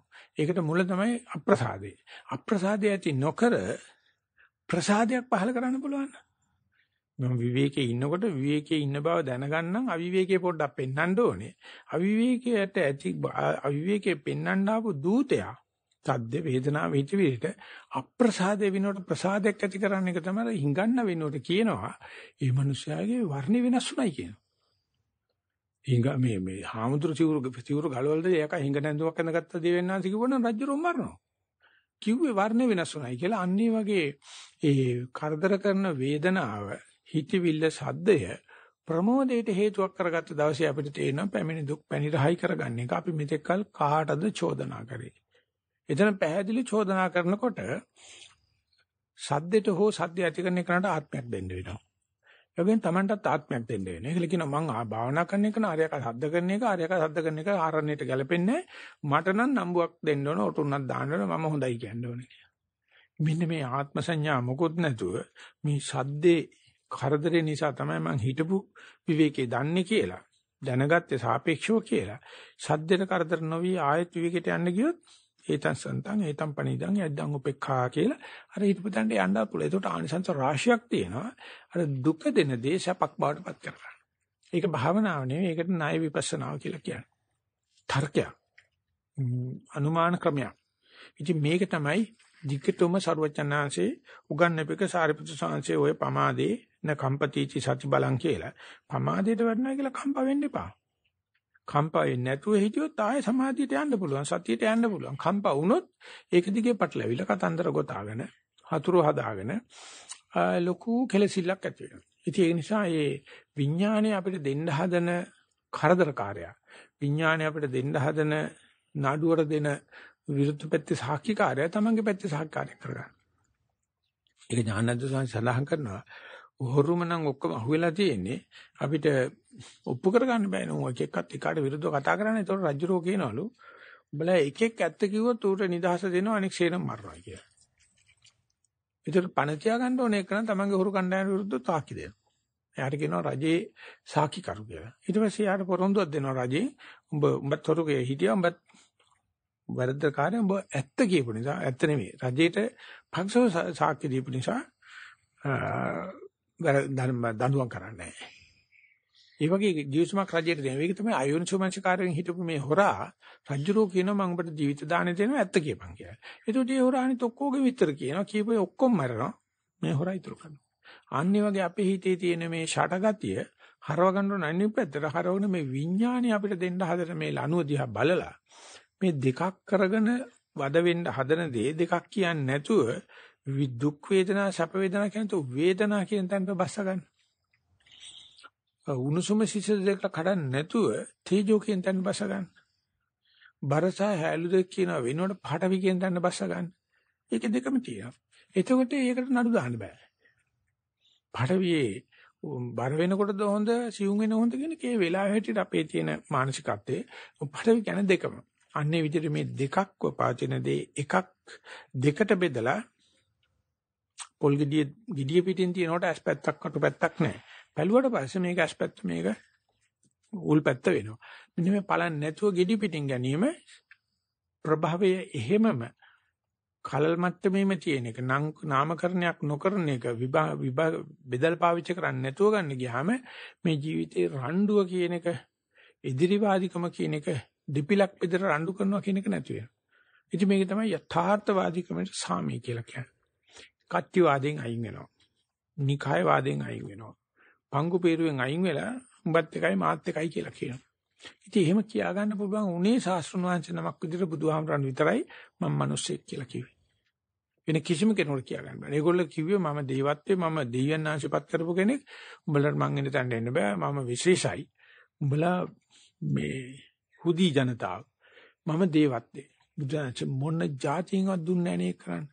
දැන් මේ බුද්ධ ආගමක් හැදුනට පස්සේ තමයි බුදුහාමතුරු උඩ තියලා පුදුමාකාර දේවත්වයක් ආරූඪ කරගෙන බ්‍රහ්මත්වයක් ආරූඪ කරගෙන බුදුජානනාංශයට මේ වන්දනමාන කිරීමෙන් ඒක පාඩුවක් නෑ වන්දනමාන කරන්න ඕනේ. නමුත් වෙන් කරගත්ත ගමන් ඒක නිවන බුදුහාමරණ අපිට බෑ. අපි ඇවිල්ලා පුරුතඥයෝ අපි හුදි ජනතාව අපිට කරන්න බෑ කියලා අපි විහිං පල්. නමුත් ආරම්භක ශේෂි වශයෙන් මට දෙන්න මේකයි. ඒ නිසා නිබ්බාන සබ්බතෝ පබං කියන්නේ හාත්පසම ආලෝකය කියන එක තමයි කියන්නේ. මට හිතෙනවා හිතුවක් ආරමුණ කියන්නේ සබ්බතෝ පබවං කියලා කියන්නේ සියල්ලෙම සියල්ලෙම ආරම්භ විඥානය. හොඳ දේ හෝ නරක දේ. බුදුහාමරගේ විඥානය අපේ විඥානය කියලා වෙන් කරන්න බෑ. එකම විඥානය වෙන් කරගත්ත ගමන් පෘථක් පෘථක්. කොටස් වෙනවා මේ සමස්ත විඥානයක් තියෙනවා. අඳුරගත්තොත් මම වෙනයි කියලා ඉතින් රණ්ඩු සරුවලේ. නෑ ඔක්කොම දැන් අපේ අපි සංඝයා කියලා කියමු. මේ සංඝයා වහන්සේ නමක් අතින් වැරදක් වුණොත් මරන්නේ. මොකද උනේ කියලා ආලය බේරලා ය හදලා ගන්න එකනේ තියෙන්නේ. පන්දිසාංශ කියනවා පවුලේ සහෝදරයෙක් වැරදි වැඩක් කරනවා. අනික කට්ටිය එකතුල මරණ තීන්දුව කරන්නේ නැහැ නේ. හදලා ගන්නනේ බලන්නේ. එච්චරයි විඥාණයට දෙන්න තියෙන උත්තරේ. මොනම විදියකින් හරි අපි වෙන් කරුව ගම මේ හරි වැරදි හොඳ නරක සාධාරණ අසාධාරණ හැම වෙලාවෙම විඥානෙ දෙන්නවා. ඒ වැරද්ද මගේ කොටසක් කියා ගන්නවා. එතකොට ඒ හොඳට මේ විපස්සනා භාවනා කරපු මේ හිරකාරයෙක් ගෝයින්කා සිස්ටම් එක කරලා කිව්වලු ලෝකේ කොහේ වැරද්දක් වුණත් ඒකට මම වග කියන්න ඕනේ. ඒ වැරද්ද මට ආරංචි වෙන්නේ මම මේකට සම්බන්ධයි. ඒක නිසා ඕන කෙනෙක්ගේ වැරද්දක් මගේ වැරද්දක්. ඒකේ යුතුයකම මට තියෙන එක පිළියම කරන්නේ වැරද්ද හැංගීම ගත්තොත් මට පිළියම් කරන්න පුළුවන්. මේ වැරද්ද මේ මිනිස්සු ඇයි එහෙම කරේ? නෑ නෑ ඌ මරන්න ඕනේ කියපු ගමන් අපිට කාදාත් පිළියම් ඉන්නේ නෑ. අපි ඊට පස්සේ ලැබ් බෙදලා අපි විනිශ්චය කාර්යනේ කට්ටිය විත්ති කාර්යනේ. එහෙම නෙවෙයි. මේ වැරද්ද මගේ කවුරු කෙරුවත් ඒක මම වගේ කියන්න ඕනේ කියලා ඒ වැරද්ද කරපු එක්කනයි ප්‍රශ්නෙන් බැලුවොත් පැත්තෙන් බැලුවොත් අපිට හිතා ගන්න පුළුවන් මේ මානසිකත්වයට වැටුනොත් ওই විදිහට තමයි තීන්දුව වෙන්නේ. ඒකට මොකද්ද කරන්න ඕනේ කියලා මේ අනුන්ගේ පව් බාර ගන්නවා කියන එක නෙවෙයි මම මේ කියන්නේ. අපිට මේ හැඟීමක් ඇති වෙනවා නම් අපේ සමාජයේ ජීවත් වෙන හැම සමාජිකයෙක්ම හිතින් එකයි කයින් වෙනස් කියලා. ගෝසිංග වනේ හිටපු තුන් දෙනා වගේ බුදුරජාණන් සඳහන් කර ස්වාමීන් වහන්සේ අපි තුන් දෙනා එක හිතින් ජීවත් වෙන්නේ කය තුනක්. අපි කතා බතා කරන්න ඕනේ යාට හැරෙනකොට යාට ඕන දේ මට තේරෙනවා මම ගිහිල්ලා උදව් කරනවා කතා කරන්නේ නැහැ. කයියේ නැහැ. අඳුරේ නැහැ. වැඩි. ඒකට බුදුරජාණන්ට සාන්තියක් ඇති වෙනවා මොකද බුදුරජාණන් එතෙන්ද වැඩි ඒ පාර්ලිය වනේ ඉඳලා එතන ඉන්න රංගයා කොයි වෙලාවෙත් වඬු. වැසිකිලි බාණ්ඩේ වතුර වාදනේ වතුර ටිකක් ඉතුරු නැහැ කියලා මැරෙන්න ගහ ගන්න විනයවාදී ධර්මවාදී කියලා බුදුන්සේක දෙසරයක් කිව්වා. ඕක ඔච්චර ගණන් ගන්න දෙයක් නෑ නෑ නෑ නෑ. ඒක ලේසියෙන් වෙන්න බෑ. වැසිකිලිය වතුර තිබ්බොත් වාදී වතුර තිබ්බොත් මදුරු හැදෙනවා. මදුරු ඩෙන්ගු හැදෙනවා. ඩෙන්ගු හැදෙනවා භයානකයි. ඒක රජයෙන් ඇවිල්ලා දඩ ගන්නවා. එන්න වතුර ඉතුරු ගන්න. බෙචාර මදුරු මදුරු හැදෙන්නේ පැය 6ක් නතර වුණොත් ඊගා මනස ගන්නකොට වතුර ටික ඉවර වෙනවානේ. තමුසලා මොනවද මේ විනය හදන්න දෙන්නේ කියලා. නෑ නෑ නෑ තමුසලා ධර්මයේ දැනගත්ත විනය දන්නේ. අර මේ තමුසේ ධර්මයේ දැනගත්ත විනය දන්නේ. ඕන්න බං. බුදුරජාණන්සේට කියන අන්තිමට ඒ දෙපිරිස භාග්‍යතුන් වහන්සේ මේ කරදර වෙන්න එපා. අපි විශ්න ගන්න භාග්‍යතුන් වහන්සේ පැත්තකට වෙන්නේ කියලා. කොච්චර ඔලමුණද කියලා බලන්න. ඒ දෙපිරිස බීච් කට්ටිය කියනවා භාග්‍යතුන් වහන්සේ මේකට වෙලා ගන්න එපා. ඒක අපි විසඳ ගන්න. පස්සේ සර්වඥාන්සේ පිටත් වෙලා යනවා. පස්සේ කුසල රජු ඇතුළු කට්ටියම කතා වෙලා කන්න දෙන්න නැතුව අතාරිනවා. ඔච්චරයි ඔය රණ්ඩුවට තියෙන එකයි. එන මොකක්වත් හම්බ වෙන්නේ නැහැ. කොයිද සර්වඥාන්සේ කියේ සර්වඥාන්සේ කියේ තරහ වෙලා. අපේ වචනේ කියනවා. ඔක්කොටම මුල බෝනි එක්කා කියලා බයිනවා කියලා බයිනවා ලොකු අක්කා ඒ නිසා මම යනවා යන්නට එනවද මා එක්කා කියලා යෝනික තරහ වෙලා යනවා කන්න නැති උනට කට්ටිය එකතු වෙලා බුද්ධජනක හොයාගෙන එනකොට යන්නේ ගෝසිංග වනේට ගෝසිංග වනේ අනිත් පැත්ත කියනවා. අපි තුන් දෙනා ස්වාමීන් වහන්සේ හිත එක හිතින් ජීවත් වෙන්නේ. කයින් වෙනස් වෙලා. මේ එක හිතට දැන් කාලේ දාලා තියෙන නම තමයි universal consciousness. පොදු මනසක් අපිට තියෙන්නේ. එහෙම නැත්නම් බටේට මානසික විද්‍යාව කිව්වා උඩු හිතෙන් වෙනස් වුණාට යටි හිතින් අපි සමානයි කියලා. ඒ කාල්මා මේ ෆ්‍රොයිඩ් මේ උඩු හිතේ ඉඳලා යටි හිතට යන මාර්ගය කැපීම තමයි කිව්වේ රූපේ ගෙවම් කරනකොට පේන අරූපෙට අවදි වෙන එකට කිව්වේ උඩු හිතේ ඉඳලා යටි හිත බින්ගයක් කපනවා කිය. ඒකේ යටටත් යන ආය උඩට එන. ආයතට යන ආය උඩට එන. ඊට පස්සේ පස්සේ ආපු කාල්ජුන් කතා කරලා කිව්වා උඩු හිත වශයෙන් අපි රුචර්ජිකම් වෙනස්. ඥාන පරිම වෙනස්. යටි හිතින් අපි ඔක්කොම සමානයි. ඔය මොනවාක නොදෙන තැනට ගියාම බුදුහාමුදුරුත් එතන තමයි ඉන්නේ. මමත් එතන තමයි ඉන්නේ. ඒ නිසා එතෙන්ට යන්න ඕන නම් බුදුන් කවුද කියලා දැනගන්න ධර්මයේ මොකද්ද කියලා දැනගන්න මේ දන්න ශේෂ්ත්‍රේ පන්නන්න. පන්නලා නොදන්න ශේෂ්ත්‍රයට ගිහිල්ලා සද්ධාවෙන් ඉන්න එතෙන්ට වෙලා. සීලය රැකලා ගන්න. ඊටේ තියෙන බව දැනගන්න. සතියෙන් ඉන්න බලන්න නොදන්න ශේෂ්ත්‍රේ ඉන්නේ කියලා. එතනයි නිවන තියෙන්නේ. එතෙන්ට යනකොට පේනවා අපි කොච්චර අසහනකාරී වෙනවද කියලා. මේ දන්න කුණුහරුපේ හොඳයි, දන්න ආතතිය හොඳයි, දන්න ගෑණි දන්නේ කහ හොඳයි නෝ දන්නේ කාට වැඩිය කියලා. අපි දන්න දේ හරහා දන්න දේ නරක නිසා නෙමෙයි මම මේ කියන්නේ. දන්න දේට නොදන්න දේට වඩා ප්‍රිය කිරීම නිසා අපි දන්න දේට ඉබේ ඇදලා යනවා. ගිය ගමන් උදේට කසපාර 100යි, දවල්ට කසපාර 100යි, රැට කසපාර 100 වගේ විඥානේ පහර දෙනවා. නොදන්න දේටත් ඒ වගේම ඊට දෙන්න. ඒකට දන්න දේට කියන්නේ උඹ බම්බු ගහපන්. මම එනවා මේ. ඒක නැතුණයි කියලා ආයේ දන්න දේට යන ප්‍රශ්නයක් නැහැ. නොදන්න දෙයට කියන ඔබ බම්බු හපම යන දන්න දෙයට කියන. මෙන්න මේ දෙන්න එකට එකක් අහුවෙන්නේ නැතුව එකන එකනට සාපේක්ෂ වීම තමයි මේ විඥානය පුහුණු කරනවා කියලා කියන්නේ සැප වුණත් දුක වුණත් ජය වුණත් පරාජය වුණත් යසසුණත් ආයසුණත් අඩු ගානේ මූලධර්ම වශයෙන් තේරුම් ගන්නයි කියලා. ඉතින් මේකට මේකෙන් නම් ධර්ම දේන හමාර කරන එක හොඳ නැහැ. නමුත් කියන්න පුළුවන් මේකට පස්සේ Hindu ආගමේ අද්වෛතය කියලා වචනයක් හදාගත්තා. ද්වේතාවය කියන එක බුදුජානනාංශයේ පෙන්වන විඥානය යන්නේ සෙල්ලම ද්වේතාවය හරහා. අරගොල්ල අද්වෛත වේදාන්තය කියලා එකක් හදුවා. දෙක එක් වෙන් වෙන්න ඉස්සලා තියෙන తত্ত্বය අද්වෛතය. ඒක තමයි නිවනට නැත්තම් විමුක්තියට කිට්ටුම තැන කියලා. ඒ ගැටේ තාම බෞද්ධයට ගලව ගන්න බැරි වුණා. ශංකරාචාර්ය ගැහුවේ ඉන්දියාවේ සම්පූර්ණම බුද්ධ ධර්ම ඉවර කරා. ධර්මයන්නේ දෙක දෙක වෙන් කරගෙන යන්නේ කියලා අන්තිමට කියනවා දෙක තියෙනකන් දුකයි ද්වේතාවේ තියෙනකන් දුකයි. ඒ විඥාණයට ප්‍රතිෂ්ඨාවක් නොලබන විදිහට රූප වේදනා සංඥා සංකාර ගෙවන් වෙනකන් ඉන්න. ඒලා අලුතෙන් බිහි කරන්න එපා. බැල කරන්න එපා. ටැග් ගහන්න දෙන්න එපා. එහෙම යන්න හරි. පුනබ්බවයක් නැති වෙන තැනට යන්නේ. අරගොල්ලෝ මේ අතරමැදට අද්වෛතය කියන එකක් දාලා ඒ විස්තරේ බැලුවොත් මොනම තාලකින්වත් වැරද්දක් හොයන්න බෑ. අද්වෛත වේදාන්තය කියලා. ඉතින් ඒක අදට මේ වෙනකොට Hindu ආගමේ ඔය රමණ මහරිෂි ඉතින් ගියාම ඔය ගුරුදේව පාද කවුද කියන එක දීලා තියෙනවා මේ මේ මහා භාරතයේට අර්ථකථනයක් මොන විදියෙන්වත් වෙන් කරන්න බෑ මේ මේ පෙන්වන්න හදන අනිදර්ශන විඥානයයි අද්වෛතයයි. ඉතින් ඒකට කියාට පස්සේ තේරෙනවා ඒක මේ මේ තර්කයෙන් ලං කරලා තිනවා. වාදයෙන් ලං කරලා තිනවා. ඒතර භාවනා කරන යන කෙනා වුණත් මත් වෙන තරමට යනවා. මත් කරාට පස්සේ බුද්ධ ආගම තියෙන Hindu ආගම ඇතුලේ වගේ දැන්. අද්වෛත වේදාන්තය. දමු මෙතන මේ අද්වෛත කියන්නේ නෙවෙයි කියන්නේ ද්වේතාවේ ඉක්මවීමක්. ඒක තමයි ඔය ඥානানন্দ සාංශේ ද්වේතානුපස්සනා කියලා සූත්‍රයක් තෝරාගෙන තියෙන්නේ මේ සුත්තනිපාතේ. හැම තැනදීම පෙන්නනවා මේක ඒකාන්තයක් මේක ඒකාන්තයක් දෙක මැද්ද තමයි විඥානය තියෙන විඥානේ කට්ටිපයින්ට උනට මේ දෙන්න නටවනවා බොයි දෙන්න නටනකොට මේ ක්‍රියාකාරකම් කරන හොරමුලේ නායකයා පොඩ්ඩක් බලපන් හොඳ සහ නරක දෙක අතරමැද මේ විඥානේ අඳ නැන්දිල්ල. රජගෙදෙට්ට ආපු හිඟන්න භික්ෂුව හිඟන්නේ පාටපත් වෙනවා. කියන ක්‍රමයේ හැටියට තමයි රජුරෝ තේරුම් ගන්න. දැන් ඈතකට ගිහිල්ලා 아무තු තැනකට ගියා. ඊට පස්සේ වර්ණ වෙනස් වුණා. අර විදිහට කිව්වනම් මේ මේ යකසිවුර ගලවලා හිඟගෙන ගත්තයි කියලා වෙනස්. අන්න අර විදිහට අර දෙන වචන හැටියට මිනිහගේ ජීවිතෙත් බේරෙනවා. ඔක්කොම වැරදිනවා. අන්න ඒ වගේ අපි දෙයක් දිහා ආරූඪ කරන නම් සංඥා ටිකෙන් තමයි මුළු කතාවම ගෙතෙන්නේ. අපි මේ මවාගත්ත ලෝකේ සම්පූර්ණම ඇවිල්ලා තියෙන්නේ අපි ආරූඪ කරන සංඥාම. ඒ නිසා යන් සංජානාති තං අභිරමති. හැඟීමක් ගත්තොත් ඒක අභිරමණය කරනවා. සංජානනයේ අභිජානනය කෙරුවොත්, හාත්පසින්ම දැනගත්තොත් ආයෙක අභිරමණය කරන්න දෙයක් නැහැ. ඒකට අපි අපි දීපු පට්ටම් නැහෙනේ. ඒ නිසා අපිට අරසා කරන්න දෙයක් නැහැ. ඒක ඒක විසීම තුච්චයි, රිත්තයි.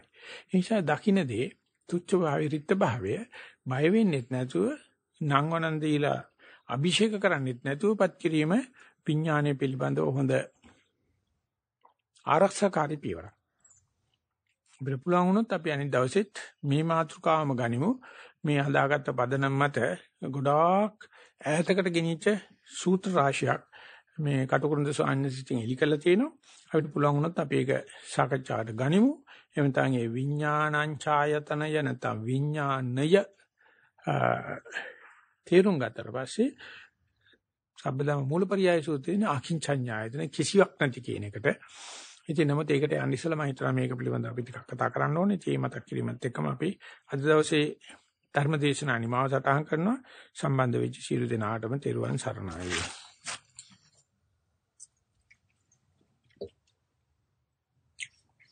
දැන් අපි දේශනා නිම කරන්න ඉස්සෙල්ලා ඒ සම්බන්ධව කිවිතු කලිස් දෙයක් තියෙනවා නම් අපි ඒකට සුළු වේලාවක් අරගෙන ධර්ම සාකච්ඡාවක නාමේ එහෙම නැත්නම් අපි තාවතා ආදී ගාථා සජ්ජායනා කිරීමේ සතිವಾರේ නිමාව දකින්න බලාපොරොත්තු වෙනවා.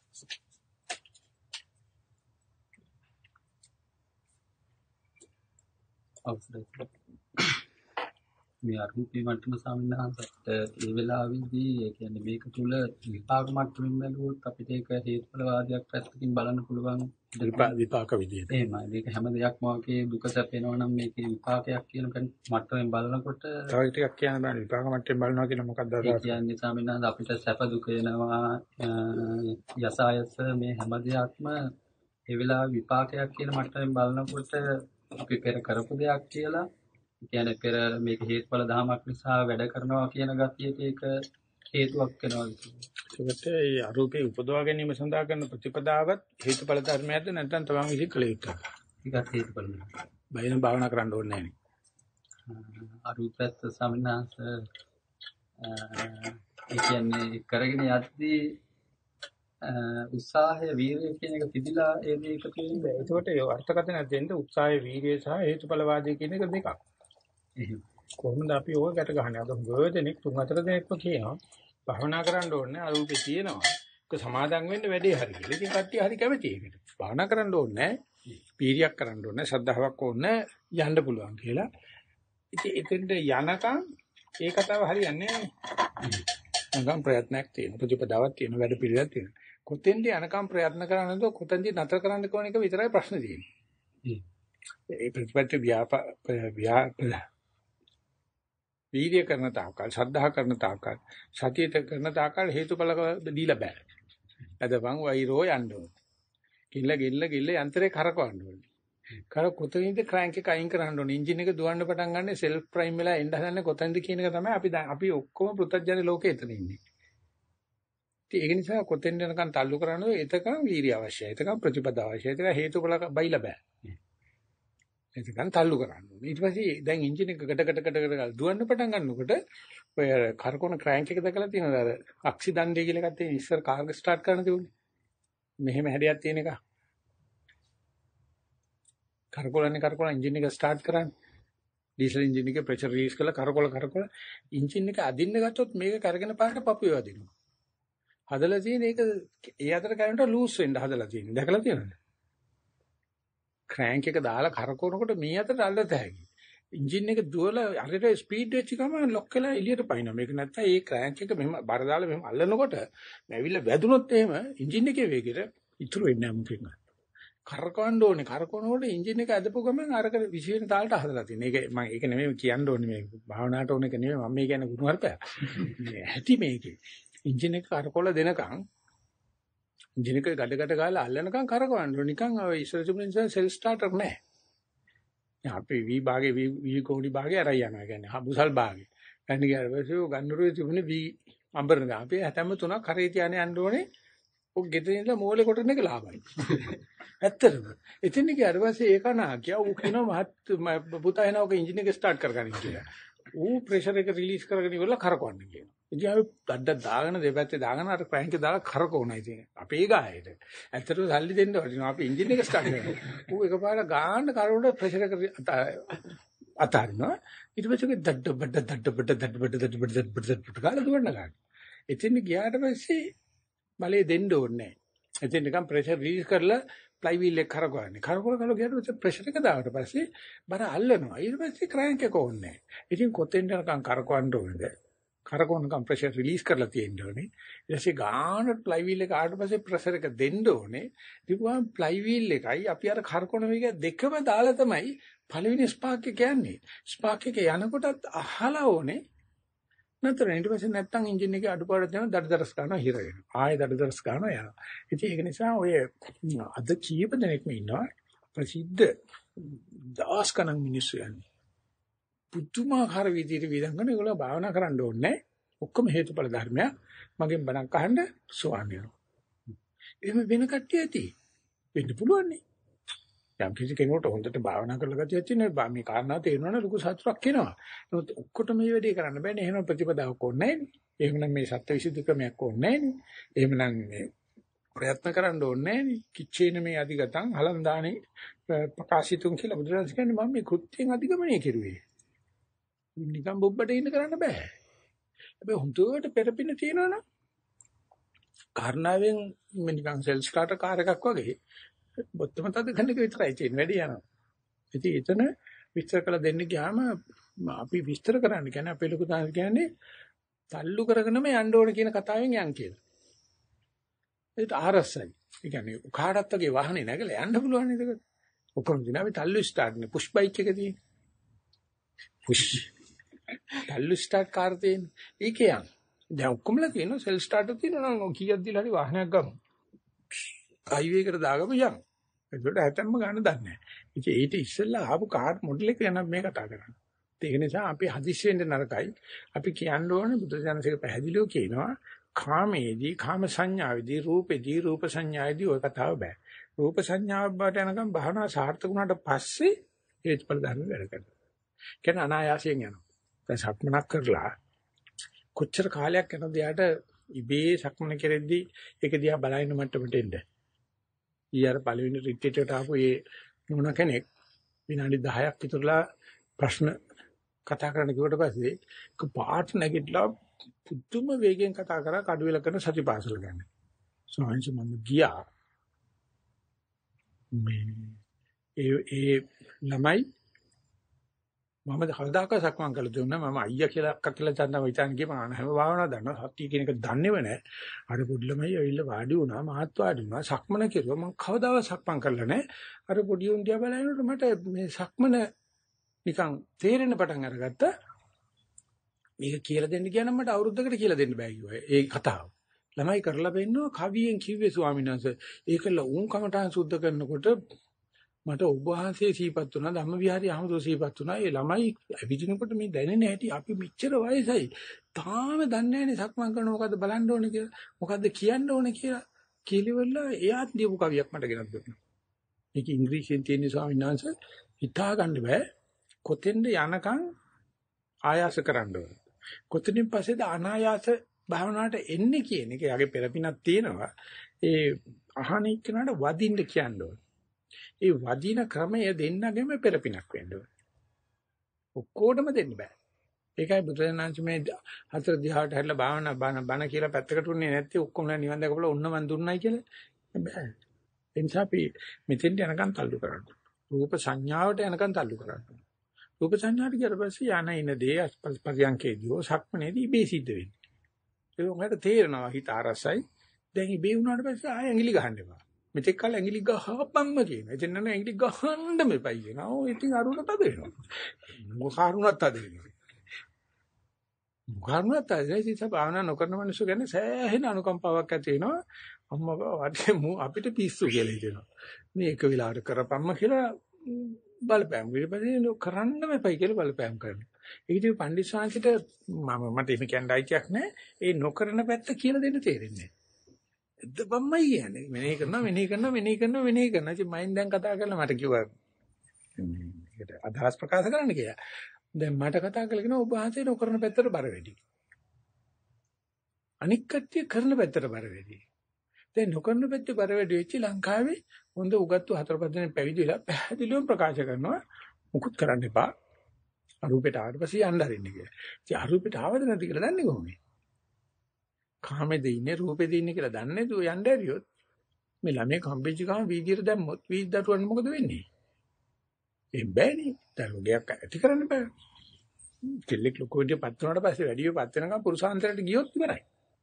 එරිලා සෑහෙන කාලයක් කුල ගෙදරක තියෙන්න ඕනේ.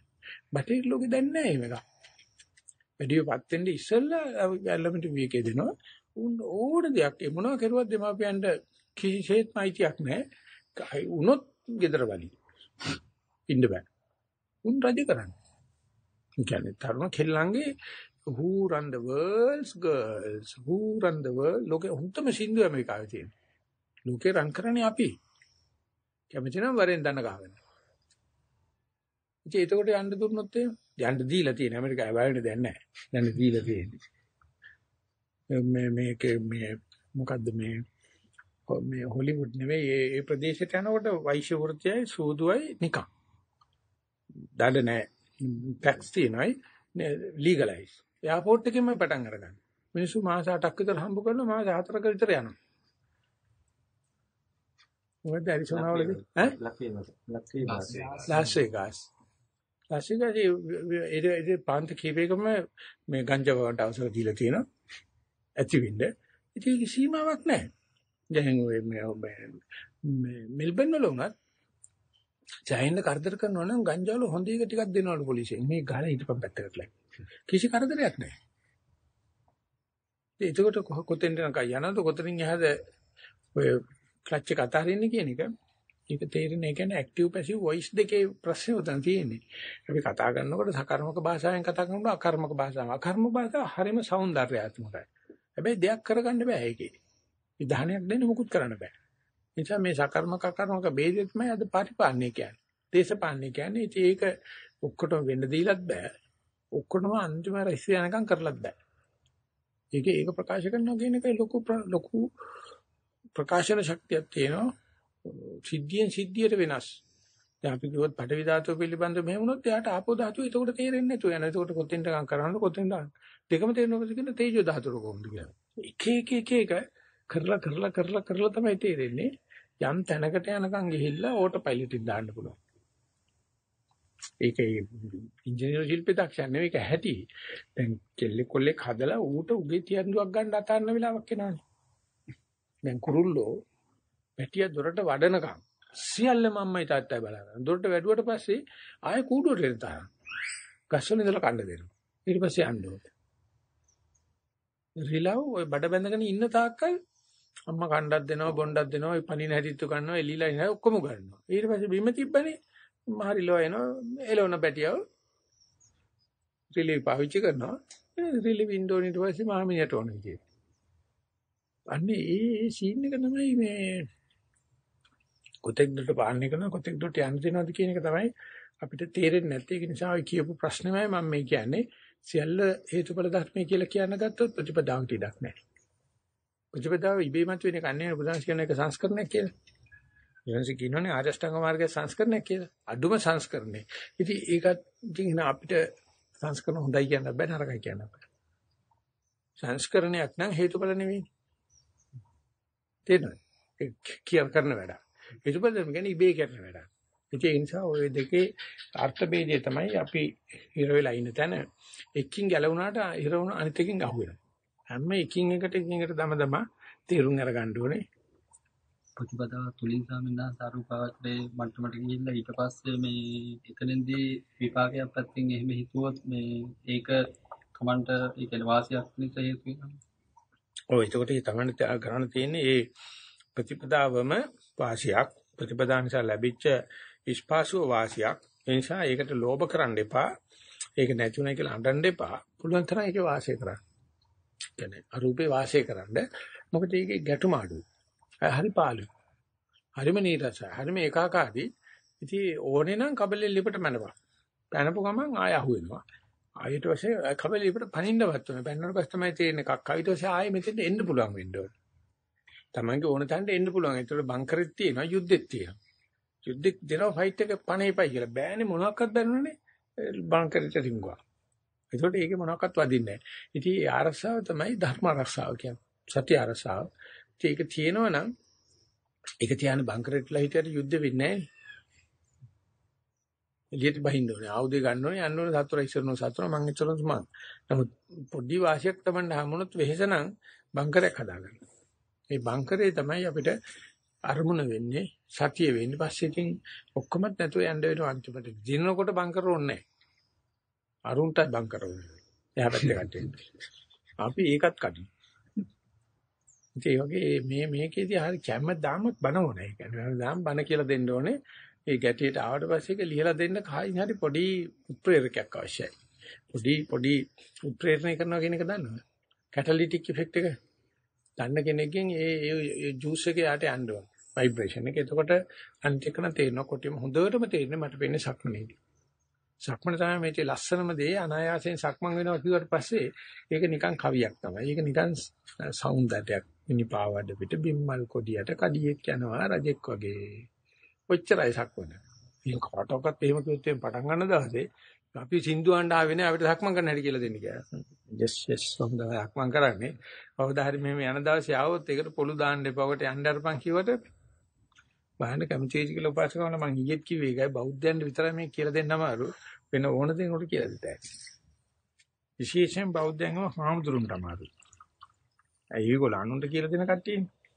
ඉතින් ඒ නිසා එක්ක අල්ලගත්ත එක දිග්ගටම වම දකුණ කරපන් කියලා කියලා දෙනවා. දැන් පටන් ගන්නකොට රෙදි ගලවලා නිකන් යන්න අරපන් කියලා දෙනවා. දෙකම බෑ.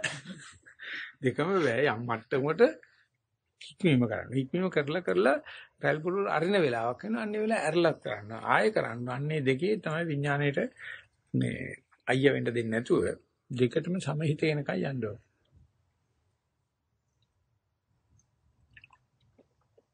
ජරිල්ලාවල ස්වාමීන් වහන්සේ කියනවලු අරූපෙට ගිගම වහාම මෙනේ කළ රූපෙට ගන්න කියලා. ඉතින් මට අම්ම කතා කරලා කිව්වා මෙහෙමයි ස්වාමීන් ඔබ වහන්සේගේ බණ කියලා කියන්නේ. එහෙම කන් නෙවෙයිනේ ඔබ වහන්සේ කියන්නේ. මේ රූපෙට ගන්න ඕනේ නෑනේ අරූපෙත් පුරුදු කරන්න ඕනේ කියලා. ඉතින් ඒ ඇත්තටම මේ අරූපෙට බය කට්ටිය ඉන්නේ. පුදුම පාළුයි නේද? ඉතින් එතකොට මේ මිනිස්සු ආයේ විශ්වාසය ඇති කරන රූපෙට හිත දාන එක තමයි කරන්නේ. නමුත් 150ක් බය නෑ කැමැති. ඒ අයට අර කතාව කියන්න හොඳ නෑ. ඒ හරි කියතයි ශ්‍රද්ධාව තියෙනවා නම් සතිය තියෙනවා නම් සීල දෙන අරූපෙම හිටපන්. දන්නේ නැති දැන හිටපන්. දන්නේ නැත්නම් තමයි ප්‍රශ්නේ උත්තර තියෙන්නේ. සමහරුන්ට ඉන්න බෑ පිස්සු වෙදෙනවා. වහකණ්ඩ හිතනවා. ඒ කියන්නේ මොනම දෙයක්වත් එල්ලෙන ගණක් නෑ. ඒකෝල කියනවා එන ආවේ රූපෙට ඇවිල්ලා පොඩ්ඩක් බංකරට ඇවිල්ලා හුස්ම ටිකක් ගනින් කියලා. ඉතින් ඒ නිසා මම ඊයේ කතා කිව්වා එතිදී කෙනාට කියත හැකි පොදු ප්‍රකාශයක් කරන්න බෑ. ඒ කෙනාට ඇතිලා තියෙන ප්‍රශ්න ඇටියට කියන දේ හරිනම් ඒකේ සාක්ෂියක් ගන්න පුළුවන්. හයි එන්න අපි නතර කරන්න යන්නේ. අපි ඊතාවතා ಜಾති ගාතර ජහන කළා අපේ දේශනා ශ්‍රවණ සැසිවාරයේ සාකච්ඡාවාරය සමාප්ත කරනවා.